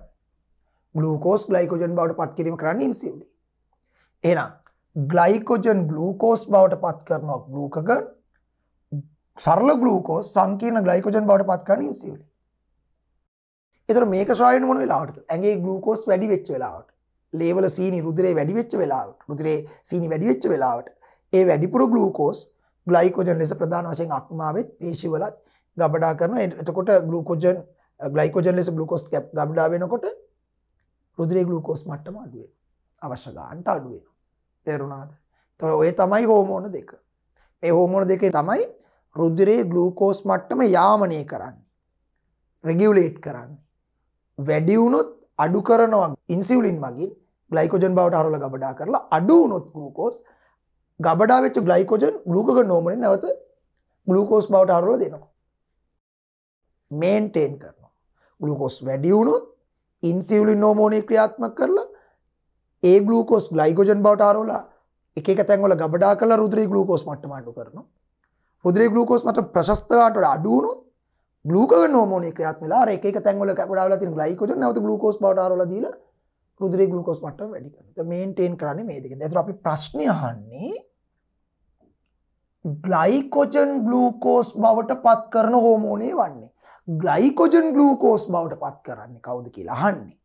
එතකොට මෙතනින් බලන්නකෝ දරු ග්ලයිකෝජන්ව ගලූකෝස් බවට පත් කරන්නේ ගලූකගන්න හෝමෝනි. ඉන්සිලින් කරන්නේ ගලූකෝස් ගලයිකෝජන් බවට පත් කර මෙයා පැහැදිලිව මානවා ගලයිකෝජන් ගලූකෝස් බවට පත් කරන එනම් ගලූකගන්න හෝමෝනි. එනම් පුතේ පිළිතුර වෙන්න ඕනේ ගලූකගන්න හෝමෝනේ නේද ගලූකගන්න හෝමෝන් තොර ගලූකගන්න හෝමෝනි තියෙන ඉන්සිවලීන් ගලූකෝස් ගලයිකෝජන් කරනවා. ගලූකගන්න හෝමෝනි තරේ මේක. තරේ මේක. එතකොටස තයිරොක්සි. තයිරොක්සින් ශ්‍රාවය කරන්නේ තයිරෝයිඩ් ග්‍රන්තියෙන් එමගින් ගලයිකෝජන් ගලූකෝස් එකක් නෙවේ කරන්නේ. තයිරට ග්‍රන්තිය ශ්‍රය කරන තයිරොක්සි නෝමනි ශරීරය වර්ධනය සිද්ධ කරනවා පොදුවේ පටක වර්ධනය කරනවා පේශි වර්ධනය කරනවා කෙස්වල සා සමේ නීරෝගී වර්ධනයට වැදගත් වෙනවා. ඊට අමතර පරිවෘතිය ක්‍රියා ඇගේ ඇතුළේ පරිවෘතිය ක්‍රියා හරියාකාරෝ ප්‍රශස්ත වේගකින් සිද්ධ කරනවා. ස්නායු පද්ධතිය නීරෝගී වර්ධනයට බලපාන නිසා මානසික තත්ත්වය පවත්වා ගන්න වැදගත් වෙනවා. ඒ වගේ කාර්යයන්ට තමයි මේ තයිරොක්සින් හෝමෝනේ වැදගත් වෙන්නේ. කැල්සිටෝනින් හෝමෝනේ කැල්සියම් පරිවෘතියට වැදගත් වෙනවා. එතකොට අපි ප්‍රධාන වශයෙන් අහලා තියෙන්නේ ග්ලයිකෝජන් ගලූකෝස් බවට පත් කරන්නේ ගලූකගන් හෝමෝනි. පිළිතුර ගලූකගන් හෝමෝන් හොඳයි. එහෙනම් අපි යමු ඊළඟ එකට. ඊළඟ ප්‍රශ්නයානවා උච්චවායු ඉලෙක්ට්‍රෝන විඤ්ඥාසය පමණක් අන්තර්ගත පරමාණු අයන ඇතුළත් පිළිතුර කුමක්ද. උච්චවායු ඉලෙක්ට්‍රෝන විඤ්ඥාසය පමණ. උච්චවායු ඉලෙක්ට්‍රෝන විඤ්ඥාස ඔබ දන්නේ තුනයිනි. ඔබ ඉගෙන ගන්න විශෂ නිර්දේශේ සර්සායන විද්‍යා විශෂ නිර්දේශ ඔබ දන්න උච්චවායු ඉලෙක්ට්‍රෝන විඤ්ඥා තුන එකත්තමයි හීලියම්ගේ විඤ්ඥාසේ මොකද හීලියම්ගේ විඤ්ඥාසේ පලවෙනි කවචේ ඉලෙක්ට්‍රෝන දෙක ඕක තමයි පළවෙනි උච්චවායු විඤ්ඥාසේ හීලිය. ඊළඟ නියෝන්ගේ ඉලෙක්ට්‍රෝන විඤ්ඥාසේ. පළවෙනි කවචේ දෙකයි දෙවනි කවචේ අටයි දෙකයි අටයි. ඕක තමයි ඔබ දන්න දෙවන උච්චවායු විඤ්ඥාසේ. තුන්වෙනි උච්චවායු විඤ්ඥාස්තමයි ආගන්. ඔබ ඉගෙන ගන්න සීමාව තියෙන ටික මම කියන්නේ. දෙක් පළවෙනි කවචේ දෙකයි දෙවනි කවචේ අටයි තුන්වෙනි කවචේ අටයි දෙකයි අටයි අට දෙකයි අට දෙක මේවා තමයි උච්චවායු විඤ්ඥාස. එනම් මෙතන ඉන්න කවුරුහරි පරමාණුවක් හෝ අයනයක් මේ විඤ්ඥාසවල ඉන්නවනම් එගොලු උච්චයි. අපි බලමු හිමන. හැබැයි මේකති දැනගන්න නම් ඕගොල්ලෝ පරමාණුක ක්‍රමාංක දැනගෙන ඉන්න ඕනි. පරමාණු ක්‍රමාංක ගැන නෂ්ටේ තියෙන ප්‍රෝටෝන ගාන. නෂ්ටේ තියෙන ප්‍රෝටෝන ගාන දන්නවනම් උදාසීන පරමාණු පිටින් තියෙන ඉලෙක්ට්‍රෝන ගානත් ඒහා සමානයි. මොකද උදාසීන පරමාණුක නෂ්ටේ ප්‍රෝටෝනයි පිටින් තියෙන ඉලෙක්ට්‍රෝන එක හා සමානයි. හරිද? එතකොට ඒක නිසා ඔබ මේකට පරමාණු ක්‍රමාංක දැන සිටිය යුතුයි. අපි හිමින් හිමින් බලමු. මේකට පුතේ උත්තර හැම එකම ගන්න වෙනවා. ඒ කියන්නේ මේක අපිට උත්තරේ හොයාගෙන යන්න එක පුළුවන් එකක් නෙවෙයිනේ. ඒගොල්ලෝ දීලා තියෙන බෙන් උච්ච වායු වින්‍යාස තියෙනවා තෝරන්න එපේ. පළවෙනි දෙන්න ගමු. නියෝන්. නියෝන් කියන්නේ පරමාණු ක්‍රමාංකය 10. ඒක දැනගෙන ඉන්න ඕනේ. නැත්නම් ආවර්තව ගුටක් ගාලා මතක් කරගන්න ආවර්තාවගේ තියෙන තැන බලන්න ඒක පරමාණු ක්‍රමාංක අනුපිළිවෙලටනේ ආවර්තාවග සටහන් කරලා තියෙන්නේ. ඒ නිසා ආවර්තාවගේ තියෙන අනුපිළිවෙල තියෙන තැන බැලුවොත් එකෙන් පරමාණු ක්‍රමාංක ගන්න පුළුවන් නියෝන් ඉන්නේ 10 වෙනියට. ඒකැන් නියෝන්ගේ පරමාණු ක්‍රමාංකය දහයයි ඒ ඇන නියෝන්ගේ නෂ්ටිය ප්‍රෝටෝන දායයි. නෂ්ටිය ප්‍රෝටෝන දහය නම් පිටිං ඉලෙක්ට්‍රෝනත් දායයි. පිටිං ඉලෙක්ට්‍රෝන දාය උදාසීන නියෝන් පරමාණුවේ එතර පිටිං ඉලෙක්ට්‍රෝන දායයි පිටිං ඉලෙක්ට්‍රෝන දායනම් එකෙන් පළවෙනි කවචරටෙන් ඉලෙක්ට්‍රෝන දෙකයි. දෙවනි කවචයට අට්ටයි දායහරිනි ආ එතකොට මේක ඔවු හරි. කෝමත් නියෝන් හරි. දැන් හරි. එහෙනම් මෙයා ඉන්නවා. උච්චවායු එකේ ඊළඟ එක්කනා බලන්න. දෙන්නම් වෙන්න එපෑ උච්චවායු ඉලෙක්ට්‍රෝන වින්‍යාස පමණක් අන්තර්ගත පරමාණු ආයන ඇතුළත් පිරිසගෙන ඒව විතරමයි තියෙන්න ඕනේ. පමණක්. පමණක්. එහෙනම් පුතේ නියෝන් කොහොමත් හරි බෝරෝනුත් බලමුක. ඊළඟට ඉන්නේ අත් එක බෝරෝන්නේ. බෝරෝන් පරමාණු ක්‍රමාංකේ පහ. පරමාණු ක්‍රමාංකේ පහ බෝරෝන්. ඒ කියන්නේ බෝරෝන් පරමාණුක නෂ්ටියේ ප්‍රෝටෝන පහයි. නෂ්ටියේ ප්‍රෝටෝන පහ නම් උදාසීන බෝරෝන් පරමාණුයි පිටින් ඉලෙක්ට්‍රෝනත් පහයි. ඉලෙක්ට්‍රෝන පහනන් දරුවෝ. පළවෙනි කවචයට ඇටෙන ඉලෙක්ට්‍රෝන දෙකයි. එතකොට තව ඉතුරු වෙන්නේ තුනයි. ඒක දෙවෙනි කවචේ. එහෙනම් දෙකයි තුනයි ඉලෙක්ට්‍රෝන වින්‍යාසය දෙකයි තුන කියන්නේ උච්ච වින්‍යාසයක් නෙවෙයිනේ. ඒ නිසා නියෝන් හරි ගියාට බෝරෝන් හරියන්නේ එහෙනම් මේ පිළිතුර ගන්න බෑ. හරි. ඒක ගන්න බෑ. අපි බලමු තව එකක්. කවුද ඊළඟට ඉන්නේ? Argon beryllium. ඉතින් දැන් ආගන් කියන්න දෙයක් නැහැ නේද? මෙතනත් ආගන් ඉන්නවනේ අපි ආයෙත් හදන්න ඕනේ. ආගන්ගේ කොහොමද 2යි 8යි 8යි වින්‍යාසය. එයා නම් හරි. උච්ච වායු තමයි. බෙරිලියම්. බෙරිලියම්ගේ පරමාණු ක්‍රමාංකය 4. හතරයි කියන නෂ්ටිය ප්‍රෝටෝන හතරයි පරමාණු ක්‍රමාංකය හතරයි කියන. එන උදාසීන බෙරලියම් පරමාණුවේ ඉලෙක්ට්‍රෝනත් හතරයි. ඉලෙක්ට්‍රෝන හතර නම් පළවෙනි කවචේ ඉලෙක්ට්‍රෝන දෙකයි දෙවනි කවචයටත් ඉලෙක්ට්‍රෝන දෙකයි. දෙකයි දෙක කියන්නේ උච්ච වින්‍යාසයක් නෙමෙයි උච්ච වින්‍යාස දෙක දෙකයි අට දෙකයි අටයි අට. දැන් මේක දෙකයි දෙකනේ. ඒ කියන්නේ මේක උච්ච වින්‍යාසයක් නෙමෙයි. එහෙනම් මේක ගන්න බෑ. ඒක ගන්න බෑ කියන්නේ පිළිතුර ගන්නත් බෑ. මොකද මෙයා හිටියට මෙයා හරියන්නේ නැහැ. උච්චවායු වින්‍යාස පමණක් ඇතුළත් වරණයයි අහන්නේ. එහෙනම් අපි ගමු තුන්වෙනි එක. තුන්වෙනි එකේ ඉන්න මේ හීලියම් හයිඩ්‍රජන්. මේ බලන්න හීලියම් හීලියම් හයිඩ්‍රජන්. හීලියම්ගේ පරමාණු ක්‍රමාංකය 4. සෝරි හීලියම්ගේ පරමාණු ක්‍රමාංකය 2. හීලියම් දෙක දෙවනියට න්‍යාවර්තාව වෙන්නේ හීලියම්ගේ ස්කන්ධ ක්‍රමාංකය 4 පරමාණු ක්‍රමාංකය 2 හරි? පරමාණු ක්‍රමාංකය 2 ඒ කියන්නේ නෂ්ටියේ ප්‍රෝටෝන දෙකයි. එහෙනම් පිටින් ඉලෙක්ට්‍රෝනත් දෙකයි. ඉතින් එතන කොහොමත් හරිනේ හීලියම් කොහොමත් අපි කියවන්නේ උච්ච වායු වින්‍යාසයක් කියලා ඒක හරි. ඊළඟට හයිඩ්‍රජන්. හයිඩ්‍රජන්ගේ පරමාණු ක්‍රමාංකය එකනේ ආවර්තකගේ මුලින්ම ඉන්නේ හයිඩ්‍රජන්. එහෙනම් නෂ්ටියේ ප්‍රෝටෝන එකයි නම් පිටින් ඉලෙක්ට්‍රෝන එකයි. ඒක වැටෙන්නේ පළවෙනි කවචයට එක කියන්නේ ස්ථායි උච්ච වින්‍යාසයක් නෙවෙයි. එහෙනම් එතන හයිඩ්‍රජන් එන්න නිසා මේ උත්තරේ ගන්නත් බෑ. එහෙනම් දැන් හිතා ගන්න පුළුවන් එතකොට වෙන්න ඕනේ අර හතරෙනි උත්තරේනේ එකක් නෙවෙයි නම් දෙකක් නෙවෙයි නම් තුනක් නෙවෙයි නම් හතරනේ. නමුත් අපි හතර වෙන්නේ ඇයි කියලා කල්පනා කරලා බලමු. හතර ඉන්නේ ඔන්න බලන්න. සෝඩියම් ධන අයනයයි ඔක්සිජන් ඍණ දෙක අයනයි. සෝඩියම් ධන අයනයි. උතේ මේ බලන්න. සෝඩියම් ධන අයනයේ පරමාණු ක්‍රමාංකය 11යි. හොඳේ? ඔන්න බලන්න පරමාණු ක්‍රමාංක 11යි. ඒ කියන්නේ සෝඩියම් ධනායනේ සෝඩියම් නම් කොහොමත් පරමාණු ක්‍රමාංක 11 තමයි. ධනායනද ඍණායනද පරමාණුද අදාළ නැහැ. සෝඩියම් නම් පරමාණු ක්‍රමාංක 11යි. මොකද සෝඩියම් ඉන්නේ ආවර්තකයේ 11 වෙනියට. ඒ කියන්නේ මෙයාගේ නෂ්ටියේ ප්‍රෝටෝන 11යි. නෂ්ටියේ ප්‍රෝටෝන 11 නම් හොඳට අහගන්න. උදාසීන සෝඩියම් පරමාණුවේ පිටින් ඉලෙක්ට්‍රෝනත් 11යි. නෂ්ටියේ ප්‍රෝටෝන 11 නම් උදාසීන සෝඩියම් පරමාණුවේ පිටින් ඉලෙක්ට්‍රෝනත් 11යි. එතොර ඒ ඉලෙක්ට්‍රෝනිකොලා වැටෙන්න කොහොමද? පළවෙනි කවචයට දෙකයි. දැන් තව නමයක් තියෙනවා. දෙවනි කවචයට අටයි. දැන් තව එකක් තියෙනවා. තුන්වෙනි කවචයට එකයි.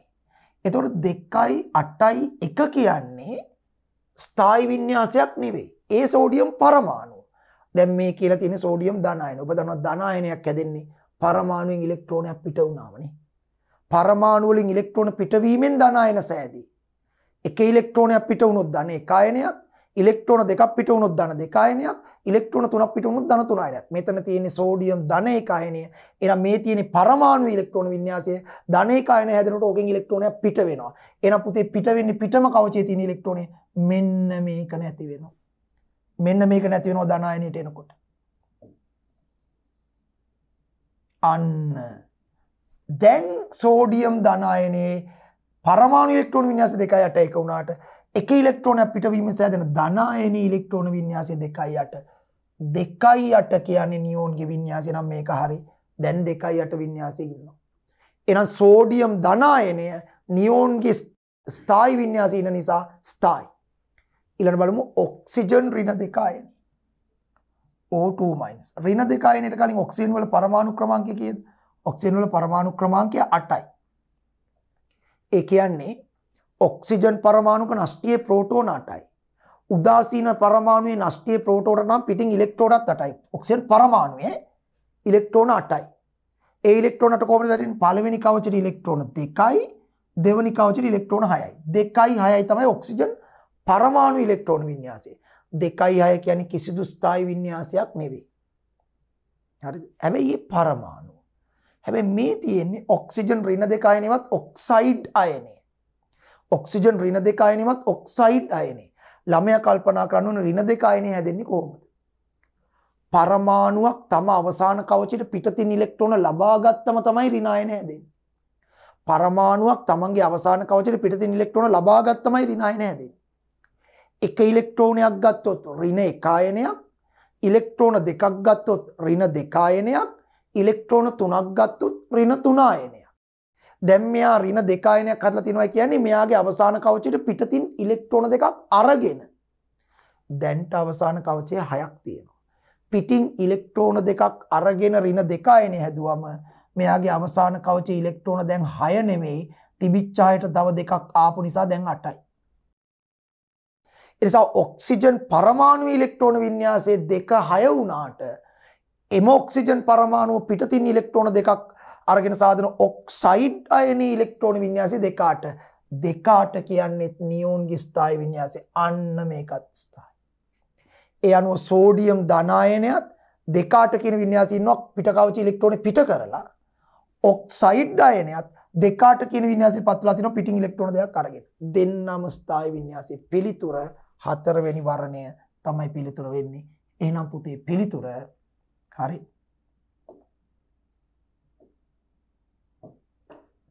මේක. සෝඩියම් ධනායනය සහ ඔක්සිජන් රින දෙකායන පැහැදිලි? හරි. ඊළඟට. ජලය තුළින් තරංගයක් ගමන් ගන්නා විට සිදුවන්නේ මින් කුමක්ද? ඔන්න දැන් තරංග පැත්තට ඇවිල්ල තියෙන්නේ. ජලය තුළින් තරංගයක් ගමන් කරනු සිදුවන්නේ කුමක්ද? ඔබ මට කියන්න. ජලය තුළින් තරංගයක් යනවනම් ඒක ජල තරංගයක් වෙන්න එපැයි. ජලය තුළින් තරංගයක් යනවනම් ඒක ජල තරංගයක්. ජල තරංග කියන්නේ යාන්ත්‍රික තරංග. මාධ්‍යයකට ශක්තිය ලබාදුනම ජලය කියන ද්‍රව මාධ්‍යයක්නේ. ද්‍රවයකට විතරන්න නෙමේ ගණ ද්‍රව වායු ඕනෑම මාධ්‍යකට ශක්තිය දුන්නම මාධ්‍යංශු විසින් එම ශක්තිය උරාගෙන මාධ්‍යංශුවල කම්පනයෙන් මාධ්‍ය තුළ ශක්තිය ගමන් කරන මාර්ග ඇතිවීමේ ක්‍රියාවලිය අපි කියනවා යාන්ත්‍රික තරංග මිකෙනිකල් වේව්ස්. යම් කිසි අංශුමේ මාධ්‍යකට ශක්තිය ලබා දුන් විට එම මාධ්‍ය අංශු විසින් එම ශක්තිය උරාගෙන මාධ්‍යංශුවල කම්පනය මගින් මාධ්‍ය තුළ ශක්තිය ගමන් කරන මාර්ග ඇති වෙනවා නම් ඒවා යාන්ත්‍රික තරංග ලෙස හඳුන්වනවා. එතකොට මේ ජලය තුළින් ගමන් කරන ජල තරංග කියන්නේ ජලය නැමති ද්‍රව අංශුමේ මාධ්‍ය තුළින් ගමන් කරන යාන්ත්‍රික තරංග.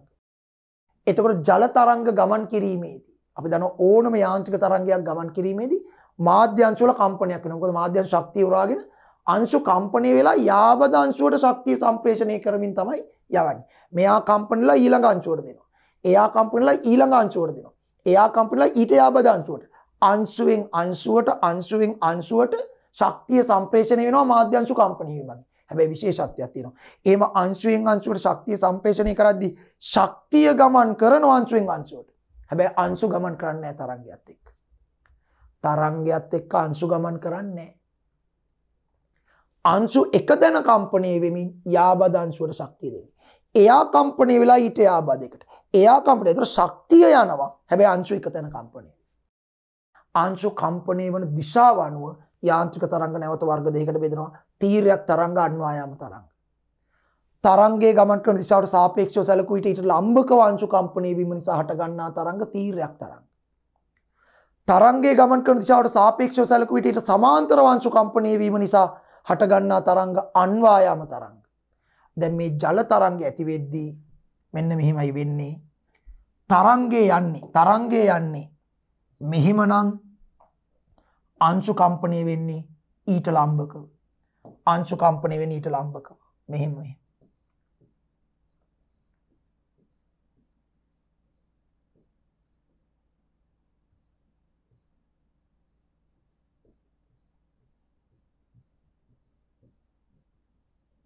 ඔන්න මේ තියෙන අංශුවල කම්පනය. ඔන්නෝම අංශු කම්පනය වේ. එතකොට අංශු කම්පනය වෙන්නේ තරංගේ යන දිශාවට ලම්බකව මේ ඇම්බිලා මෙතන කෝණය 90යි. ලම්බකව. නම් මේ තියෙන තීරයක් තරංගයක්. ජල තරංග තීරයත් ඒ නිසා තමයි ලම්බක අංශු ඉහළ පහළ කම්පණය වෙනවා තරංගය යන දිශාවට ලම්බකව කම්පණය වෙන්නකො අංශු ගමන් කරන ඉහළම ලක්ෂ්‍යවත් ශීර්ෂ අංශු ගමන් කරන පහළම ලක්ෂ්‍යවත් නිම්න හට ගන්නවා. ශීර්ෂ සහ නිම්න ඇති කරමින් හටගන්නේ තීරයක් යාන්ත්‍රික තරංග. අන්වායම තරංගී තරංගයන් දිශාවට සමාන්තර අංශු කම්පණය වෙන්නේ. ඒක ශීර්ෂ සහ නිම්න හටගන්නේ අංශු ලංවන තැන් ඒවා සම්පීඩන ඈත් වන තැන් ඒවත් විරලන හටගන්නේ. සම්පීඩන සහ විරලන ඇති වෙන්නේ අන්වායම තරංග උදාහරණ ධ්වනි තරංග. වාතය ඔස්සේ සම්ප්‍රේෂණය වෙන ධ්වනි තරංග. අන්වායම තරංග. දැන් මේ ප්‍රශ්නේ අහන්නේ එතකොට ජල තරංගයක් ගමන් ගන්නා විට සිදුවන්නේ මින් කුමක්ද? සිදුවන්නේ සිදුවන්නේ.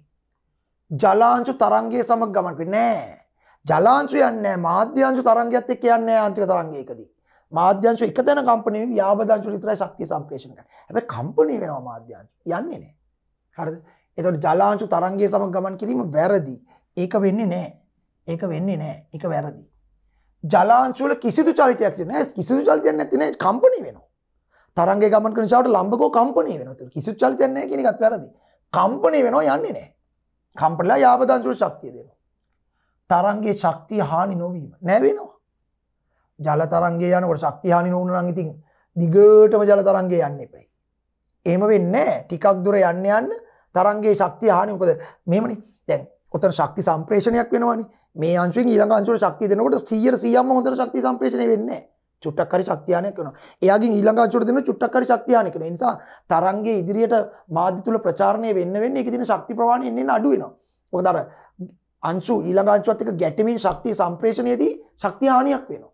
ඒ නිසා තරංගයේ මාධ්‍ය තුල ගමන් කරද්දී යාන්ත්‍රික තරංගයේ ප්‍රචාරණය වීමේදී ශක්තිය හානියක් වෙනවා. ඒක නිසා දැන් මම කතා කෙරුවොත් මේක යන්නේ වාතය හරහා අන්වායම තරංගය ලෙස. ඉතින් අංශුවෙන් අංශුවට ශක්තිය දිදී යවන්නේ.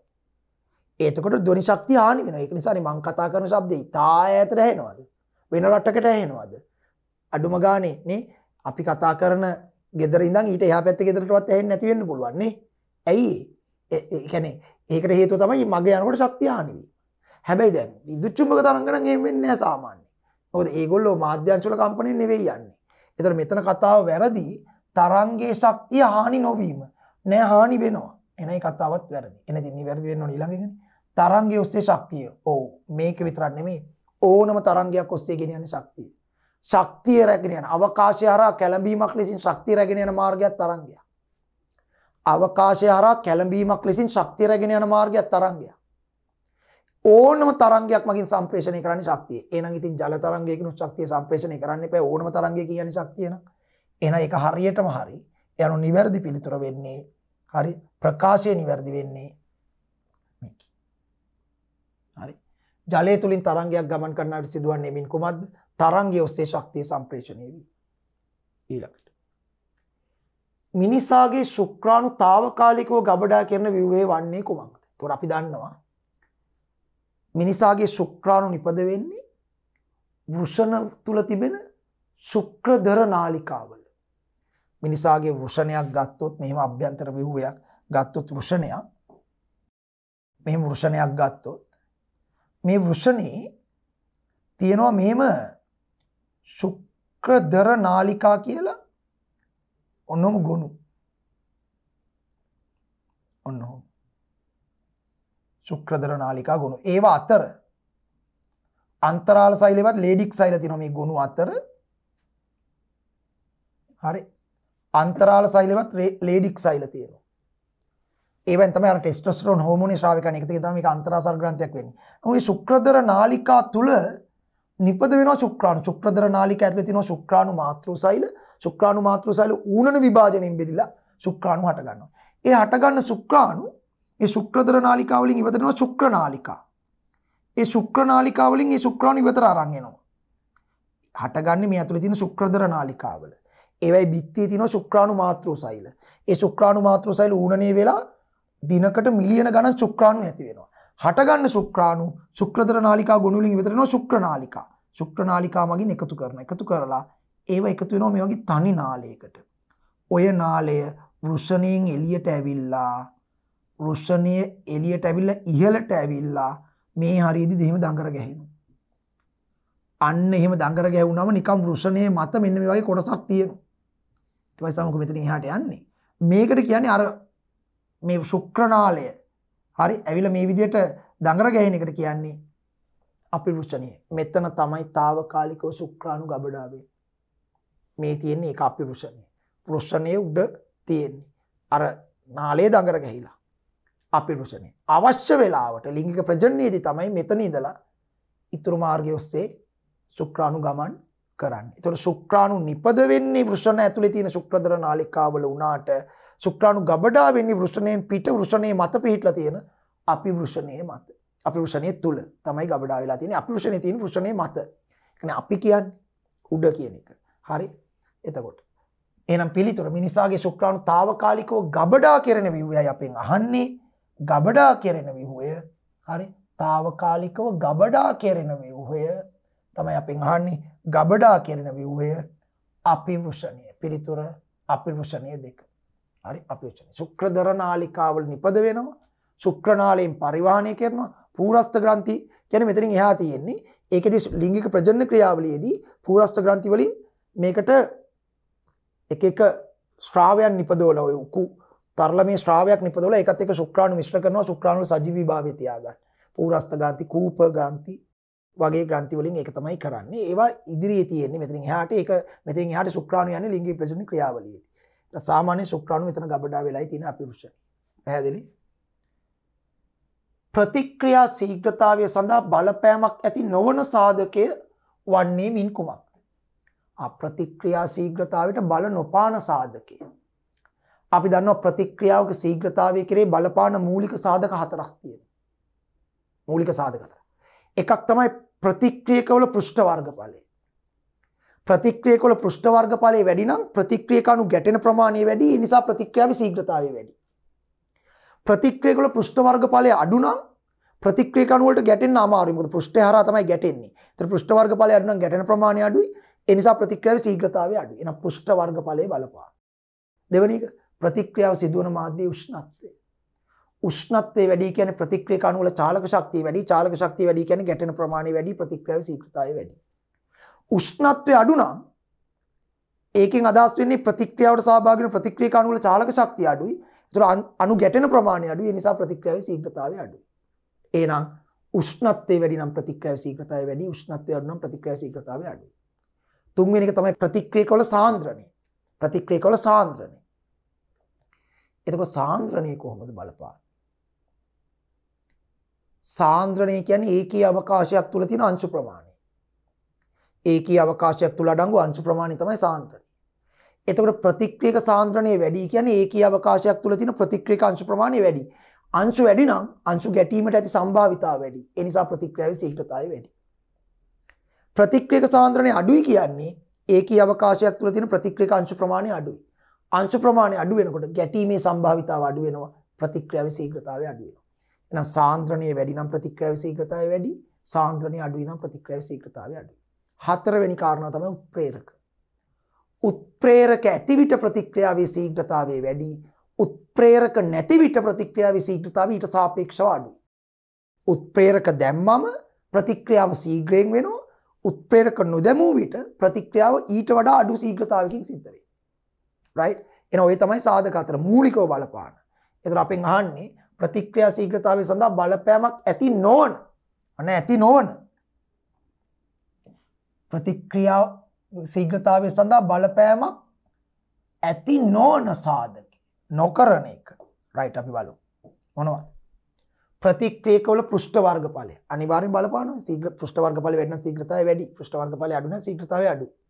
ප්‍රතික්‍රියාව සිදු ෂ්නත් ෂ්නත් වෙන්න සීග්‍රතය වැඩි ෂ්නත් වන්න සීග්‍රතාව අඩු ප්‍රතික්‍රියකොල සාන්දනය බලපානො පච්චගේ ඒක හැම ප්‍රතික්‍රියාවටම ලොකු බලපෑමක් කරන්න සමාර ප්‍රතික්‍රියාවට බලපෑමක් ඇති කරන වෙන්න පුළ එන්සයිමිය ප්‍රතික්‍රියාවගේවට මොද ඒක එන්සයිමය ක්‍රියාත්මක සුසු පීච්චගේ ති නිසා මේක හැම ප්‍රතික්‍රියාවටම බලපාන සාධකයක් නෙම නිසා මෙතන ගන්න තියෙන උත්තරේ පච්චගේ පච්චගේ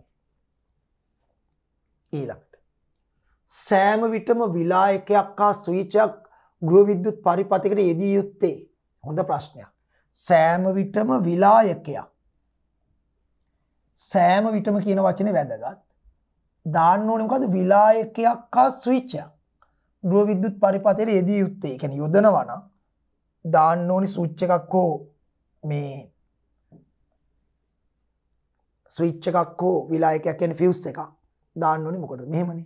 අපි ඉස්සල බලන්න මේ දෙක කාර්යන් මොනවද සුවිච්ච එකින් කරන්නේ මොකක්ද අවශ්‍ය විටකට විදුලි ධාරාව ගැලීමට සැලැස්වීමත් අවශ්‍ය විටක ධාරාව ගැලීම නතර කිරීමට නම් අපි ස්විච් එක තියෙන්නේ. දැන් ඔබේ ගෙදර බිත්තියේ තියෙන ස්විච් එක ඕෆ් කරාම ලයිට් එක ඕෆ් වෙනවා. ස්විච් එක ඔන් කරාම ලයිට් එක ඔන් වෙනවා. ඒ කියන්නේ ඔබ ස්විච් එක ඕෆ් කරනවා කියන්නේ ඒ පරිපතය තුලින් බල්බයට ලැබෙන ධාරාව නතර කරනවා. ඒ කියන්නේ ධාරාව ගලා යාම නතර කරන්න තමයි ස්විච් එක එතන තිබුණේ. ඕෆ් කරපු ස්විච් එක ඔන් කරනවා කියන්නේ බල්බයට ලැබෙන ධාරාව යන්න සලස්සනවා. ඒ කියන්නේ ස්විච් එක හරහා කරන්නේ පරිපතය තුල ධාරාව ගැලීම අවශ්‍ය විටක නතර කිරීම සහ අවශ්‍ය විටක ධාරාව ගැලීමට ඉඩදීම. ඒ තමයි ස්විච් එකේ කාර්යය. ධාරාව ගලන්න ඉඩදීම හෝ නතර කිරීම. ධාරාව පාලනය කිරීම. මට ඕන විදිහට ස්විච් එකක් කරා කරන්න. ඔය අතින් ගලවන්න බෑනේ. කරන්ට් එක වදිනවනේ අපිට අතට. ස්විච් එකෙන් කරන්න. විලායකයක් දාන්නේ මොකටද? විලායකේවත් ෆියුස් එක කියන්නේ නියමිත ධාරාවට වඩා වැඩි ධාරාවක් ගැලුවොත් එම ධාරාවෙන් උපකරණවලට සිදුවන හානිය වැළැක්වීම සඳහා ඒ වැඩි ධාරාව ගමන් නොකිරීමට බාධකයක් දී. විලායකේ විලායකයක් දැම්මම ෆිවස් එකක් දැම්මම තියෙන නියමිත ධාරාව යන්න දෙනවා. ඊට වඩා ලොකු ධාරාවක් આવොත් එක්කෝ විලායකේ පිච්චෙනවා. එහෙම නැත්නම් ඕෆ් වෙනවා. දැන් MCB එකක් වගේ දාලා තියෙනවා නම් ඕෆ් වෙනවා නේ MCB එක. miniature circuit breakers ඒවා සිංගිති පරිපත බිඳින ඒවා නම් ඉස්සර තිබෙන විලායක. එතකොට ඒකෙට නියමිත ධාරාවට වඩා ලොකු ධාරාවක් ගියොත් පිච්චෙනවා කම්බිය. දැන් තියෙන MCB එක. නියමිත ධාරාවට වඩා ලොකු ධාරාවක් ගියොත් ඕෆ් වෙනවා. ස්වයංක්‍රීය ඕෆ් වෙනවා. එතකොට අර ඊට එහා තියෙන උපකරණ වලට වැඩි ධාරාවක් ගිහලා උපකරණ වලට හානි සිදුවීම වළකින. එතකොට මේ දෙකෙන්ම බලන් ගියාම කරන්නේ ධාරාව පාලනය කිරීම. ස්විචේ ධාරාව ඕන වෙලාවට යන්න දෙන ඕන වෙලාවට නවත්තනවා. විලායකය නියමිත ධාරාවට වඩා වැඩි ධාරාවක් යන්නේ නැදුවොත් ඒක නතර කරනවා. දෙකෙන්ම කරන්නේ ධාරාව පාලනය. එහෙනම් මේක යොදන්න ඕනේ මේ දෙක යොදනවා නම් යොදන්න ඕනේ ධාරාව යන තැනකට. ඔබ දන්නවා ගෘහ විද්‍යුත් පරිපතේ ධාරාව ගමන් කරන්නේ සජීවී කම්බිය. උදාසීන කම්බියේ සෛද්ධාන්තිකව ගත්තොත් තියරිටිකලි ගත්තොත් උදාසීන කම්බියේ විදුලි ධාරාවක් නැහැ. එහෙනම් උදාසීන ධාරාවකට ස්විච් එකක් දාලා වැඩක් නැහැ නේ. ධාරාවක් නැත්තම් පාලනය කරන දෙයක් නැහැ නේ. ඒකට ෆියුස් එකක් දාලා වැඩක් නැහැ නේ. ඒක ධාරාවක් එන්නේ නැත්තම් නියමිත ධාරාවට වැඩි ධාරාවක්වත් තියක් කොහොම ධාරාවක්වත් එන්නේ නැහනේ. එන්නේ නැත්තම් දාලා වැඩක් නැහනේ. භූගත කම්බියේ විදුලි ධාරාව කොහොමත් නැහනේ. ඒ කියන්නේ හදිසි විදුලි කාන්දුවක් සිදු වුණොත් තමයි පොළොවට යන්න දාලා තියෙන. විදුලි කාන්දුවක් වුණොත් ඒදී කාන්දු වෙන විදුලිය පොළොවට ගමන් කරන ආරක්ෂක උපක්‍රමයක් තමයි භූගත කම්බිය. ඒක කොහොමත් ධාරාව නැහැ.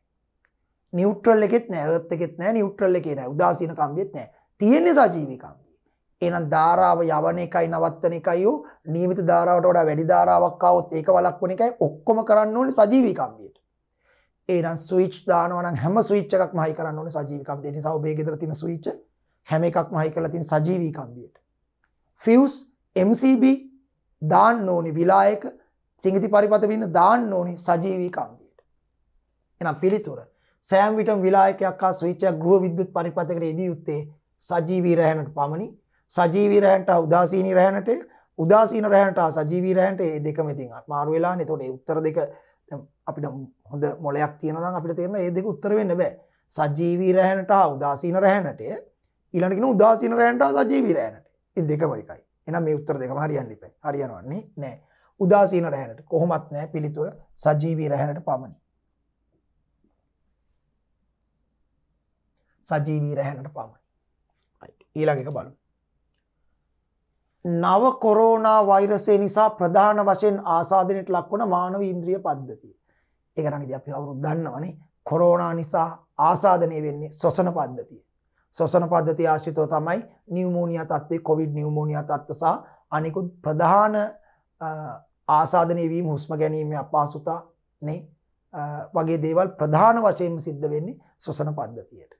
හරි එනිසා ලොකු මහානිය වෙන්නේ සොසන පද්ධති පසුව තමයි අනික් පද්ධතිවලට සමරකට හරදයට බලපෑම් ඇති වෙන්න පුළුව වෙනත් වෞගඩු වගේවට බලපෑම් ඇති වෙන පස්සේ. මුලින්ම කොරෝණ ආසාධනය මූලිකෝම ආසාධනය වෙන්නේ සොසන පද්ධතිය. එන පිළිතුර ආහාර ජීර්ණ පද්ධතියයි සොසන පද්ධතියයි රුදිර සංසරණ පද්ධතියයි ස්නායි පද්ධතියයි උත්තරේ සොසන පද්ධතියයි. ඊළඟට විසිවෙනි ප්‍රශ්නය පහත දී ඇති ප්‍රතික්‍රියා අතරී තාප අවශෝෂක ප්‍රතික්‍රියාව කුමක්ද අන්න හොඳ ප්‍රශ්නය. පුතේ අපි දන්නවා රසායනික ප්‍රතික්‍රියාතරින් සමහරක් ඒවා සිද්ධ වෙනකොට අවට පරිසරයට තාපය නිදහස් වෙනවා. ඒවට අපි කියනවා තාපදායක ප්‍රතික්‍රියා. තාපදායක ප්‍රතික්‍රියාව කරනකොට ප්‍රතික්‍රියාවෙන් අවට පරිසරයට තාපය නිදහස් වෙන නිසා පරිසරයේ තාප ප්‍රමාණය වැඩි වෙලා ප්‍රතික්‍රියාව සිදුවන පද්ධතිය රත් වෙනවා. තාපදායක ප්‍රතික්‍රියාවක් සිදුවන බව හඳුනා ගන්න පුළුවන් එකම සහ හොඳම ලක්ෂණය තමයි පද්ධතිය රත් වීම. දෙවනි ප්‍රතික්‍රියා වර්ගය තමයි තාප අවශෝෂක ප්‍රතික්‍රියා. තාප අවශෝෂක ප්‍රතික්‍රියාවක් වෙනකොට අවට පරිසරයෙන් තාපශක්තිය උරාගන්න. කවුද උරාගන්නේ ප්‍රතික්‍රියාව. ප්‍රතික්‍රියාව අවට පරිසරෙන් තාපය උරාගන්න. ඒ නිසා තාප අවශෝෂක ප්‍රතික්‍රියාවක් සිදුවන පද්ධතියක අවට පරිසරයේ තාපශක්ති ප්‍රමාණය අඩු වෙලා උෂ්ණත්වය අඩු වෙලා පද්ධතිය සිසිල් වෙනවා. එනිසා තාප අවශෝෂක ප්‍රතික්‍රියාවක් සිදුවන බව හඳුන ගන්න පුළුවන් ප්‍රතික්‍රියාව සිද්ධවනට පද්ධතිය සීතල වෙනවා. ප්‍රතික්‍රියාව සිද්ධ වෙනකොට අදාළ ප්‍රතික්‍රිය ප්‍රතික්‍රියක පද්ධතිය සිසිල් වෙනවනම් එතන වෙන තාප අවශෝෂක ප්‍රතික්‍රියාව. ප්‍රතික්‍රියාව සිද්ධනකට ප්‍රතික්‍රියක පද්ධතිය රත් වෙනවනම් තාපදායක ප්‍රතික්‍රියාව. දැන් තාපදායක ප්‍රතික්‍රියාවට උදාහරණ මොනවද? තාපදායක ප්‍රතික්‍රියාවලට. උදාහරණ. සියලුම අම්ල භෂ්ම ප්‍රතික්‍රියා තාපදායකයි. හොඳට මතක තියාගන්න. සියලුම අම්ල භෂ්ම ප්‍රතික්‍රියා තාපදායකයි. සියලුම අම්ල ලෝහ ප්‍රතික්‍රියා තාපදායකයි. අම්ලයක් එක්ක ලෝහයක් ප්‍රතික්‍රියා කරන ඒවා. මැග්නීසියම් තනුක හයිඩ්‍රොක්ලෝරික් අම්ලය. සිංක් තනුක නයිට්‍රික් අම්ලය. සියලුම අම්ල ලෝහ ප්‍රතික්‍රියා තාපදායකයි. සියලුම දහන ප්‍රතික්‍රියා තාපදායක ඕනම දානයක් කරනට අවට පරිසරය රත් වෙනවනේ. අපි ගිනි ගොඩක් දරටිකක් දානය කරුවත් කඩදාසියක් දානය කරුවත් පද්ධති රත් වෙනවා. තාපදායකයි. සියලුම දහන ප්‍රතික්‍රියා තාපදායකයි. සියලුම අම්ල භෂ්ම ප්‍රතික්‍රියා තාපදායකයි. සියලුම අම්ල ලෝව ප්‍රතික්‍රියා තාපද තව ඒව තියෙනවා මම මේ නිකන් පොදුවේ මතක තියාගන්න ටිකක් කිව්වේ. තාප අවශෝෂක ප්‍රතික්‍රියා. තාප අවශෝෂක ප්‍රතික්‍රියාවට උදාහරණ මොනවද? සාමාන්‍යයෙන් සෝඩියම් ක්ලෝරයිඩ් ජලයේ දියවීම තාප අවශෝෂකයි. ලුණු ජලයේ දියවන පොඩ්ඩක් සීතල වෙනවා තාප අවශෝෂක. ඇමෝනියම් ලවන ජලයේ දියවීම ඇමෝනියම් ක්ලෝරයිඩ් ඇමෝනියම් නයිට්‍රේට් වගේ ඇමෝනියම් ලවන වතුර දියවන තාප අවශෝෂක. හුඟක් වියෝජන ප්‍රතික්‍රියත් තාප අවශෝෂකයි.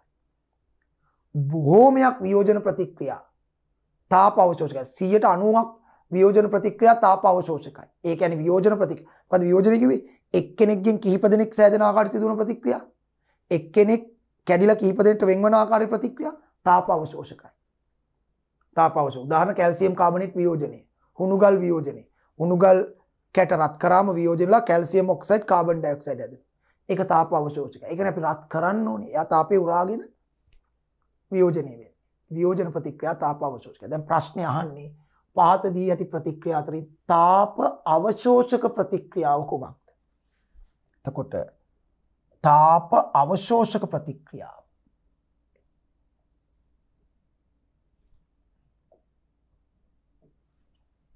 මිතයෙන් දානය මිතයෙන් හරි මොනහරි දහනයක් නම් තාපදායකයි. දහනයක් නම් තාපදායකයි. සෛලිය සොසනය සෛලිය සොසනය කොහොමත් තාපදායක ම උගල්ල තිනවා සෛලිය සොසනය සෛලිය සොසනයේදී වෙන්නේ හරි මයිට කොන්ඩ්‍රිය තුළ තමයි ප්‍රධාන වශයෙන් සෛලිය සොසනය වෙන්නේ.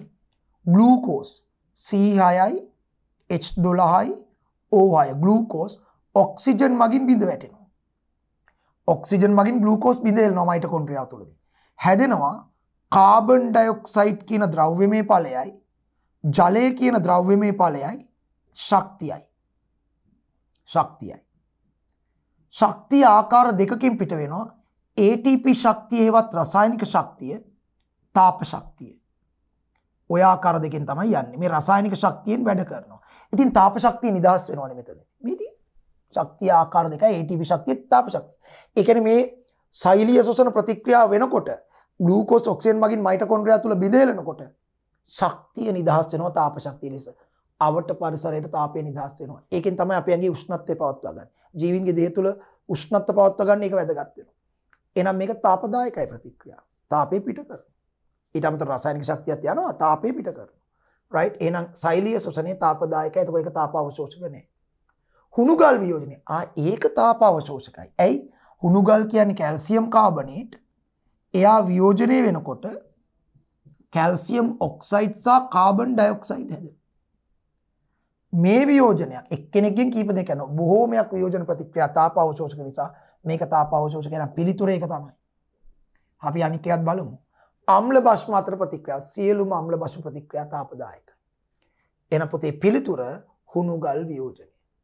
හුණුගල් වියෝජනය. පැහැදිලි? හොඳයි පුතේ. ඔන්න එහෙමනම් අපි 2020 වර්ෂයේ බස්නාහිර පළාත් අධ්‍යාපන දෙපාර්තමේන්තුවෙන් සාමාන්‍ය පෙළ විභාගයට යන්න ආසන්නතම දරුවන්ට තිබ්බ අවසාන වර්ෂ ඇගීමේ පරීක්ෂණයේ පළමු පත්‍රය බහුවර්ණ ප්‍රශ්න පත්තරේ මුල් ප්‍රශ්න විස සාකච්ඡා කරා අපේ මේ පළවෙනි පරිච්ඡේදයේ.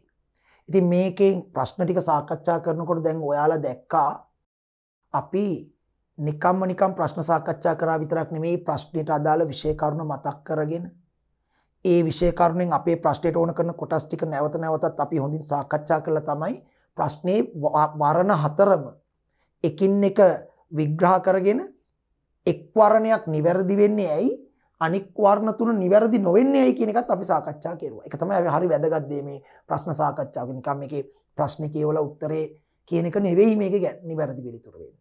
ඒක සාකච්ඡාවේ තේරුමක් නැහැ මුණ. ඒක නිසා අපි තා ලස්සට සාකච්ඡා කරුවා. ඉතින් අපි මේ පළමු පත්‍රයේ ඉතිරි ප්‍රශ්න 20 දැන් ඔක්කොම ප්‍රශ්න 40ක් තියෙනවනේ පුතේ. ඒත් අපිට ප්‍රශ්න 20ක් ඉතා සාර්ථකව සාකච්ඡා කරුවා. ඉතිරි ප්‍රශ්න 20 අපි අපේ ඊළඟ පරිච්ඡේදයේදී සාකච්ඡා කරන්න බලාපොරොත්තු වෙනවා. මේ කරපු ප්‍රශ්න 20 නැවත සැරයක් ඔගොල්ලෝ හරියට කියවන්න. හොඳට කියවන්න.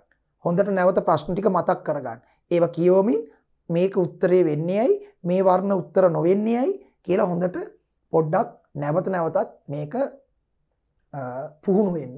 එතකොට මේ විෂය කරුණු ටිකත් නැවත මතක් වෙයි. හොඳයි එහෙමනම් අපි මේ පළමු පත්‍රයේ ඉතිරි බහුවර්ණ ප්‍රශ්න ටික සාකච්ඡා කරන්න අපේ දෙවන පරිච්ඡේදයත් එක්ක හමු වීමේ බලාපොරොත්තු ඇතුව එහෙමනම් අපි සමුගන්නවා සියලු දෙනාට ආයිබෝවන් මේ වැදගත් පාඩම් බලන්න දැන්ම DP Education YouTube නාලිකාව සබස්ක්‍රයිබ් කරන්න. අලුතෙන් චැනලයට එකතු වෙන පාඩම් මාලා දැනගන්න. බෙල් බට්න කොබල තියාගන්න. අපි ලංකාවේ දරුවන්ට නොමිලේම ගන්වන ලොකුම ඔන්ලයින් පාසල. DP Education.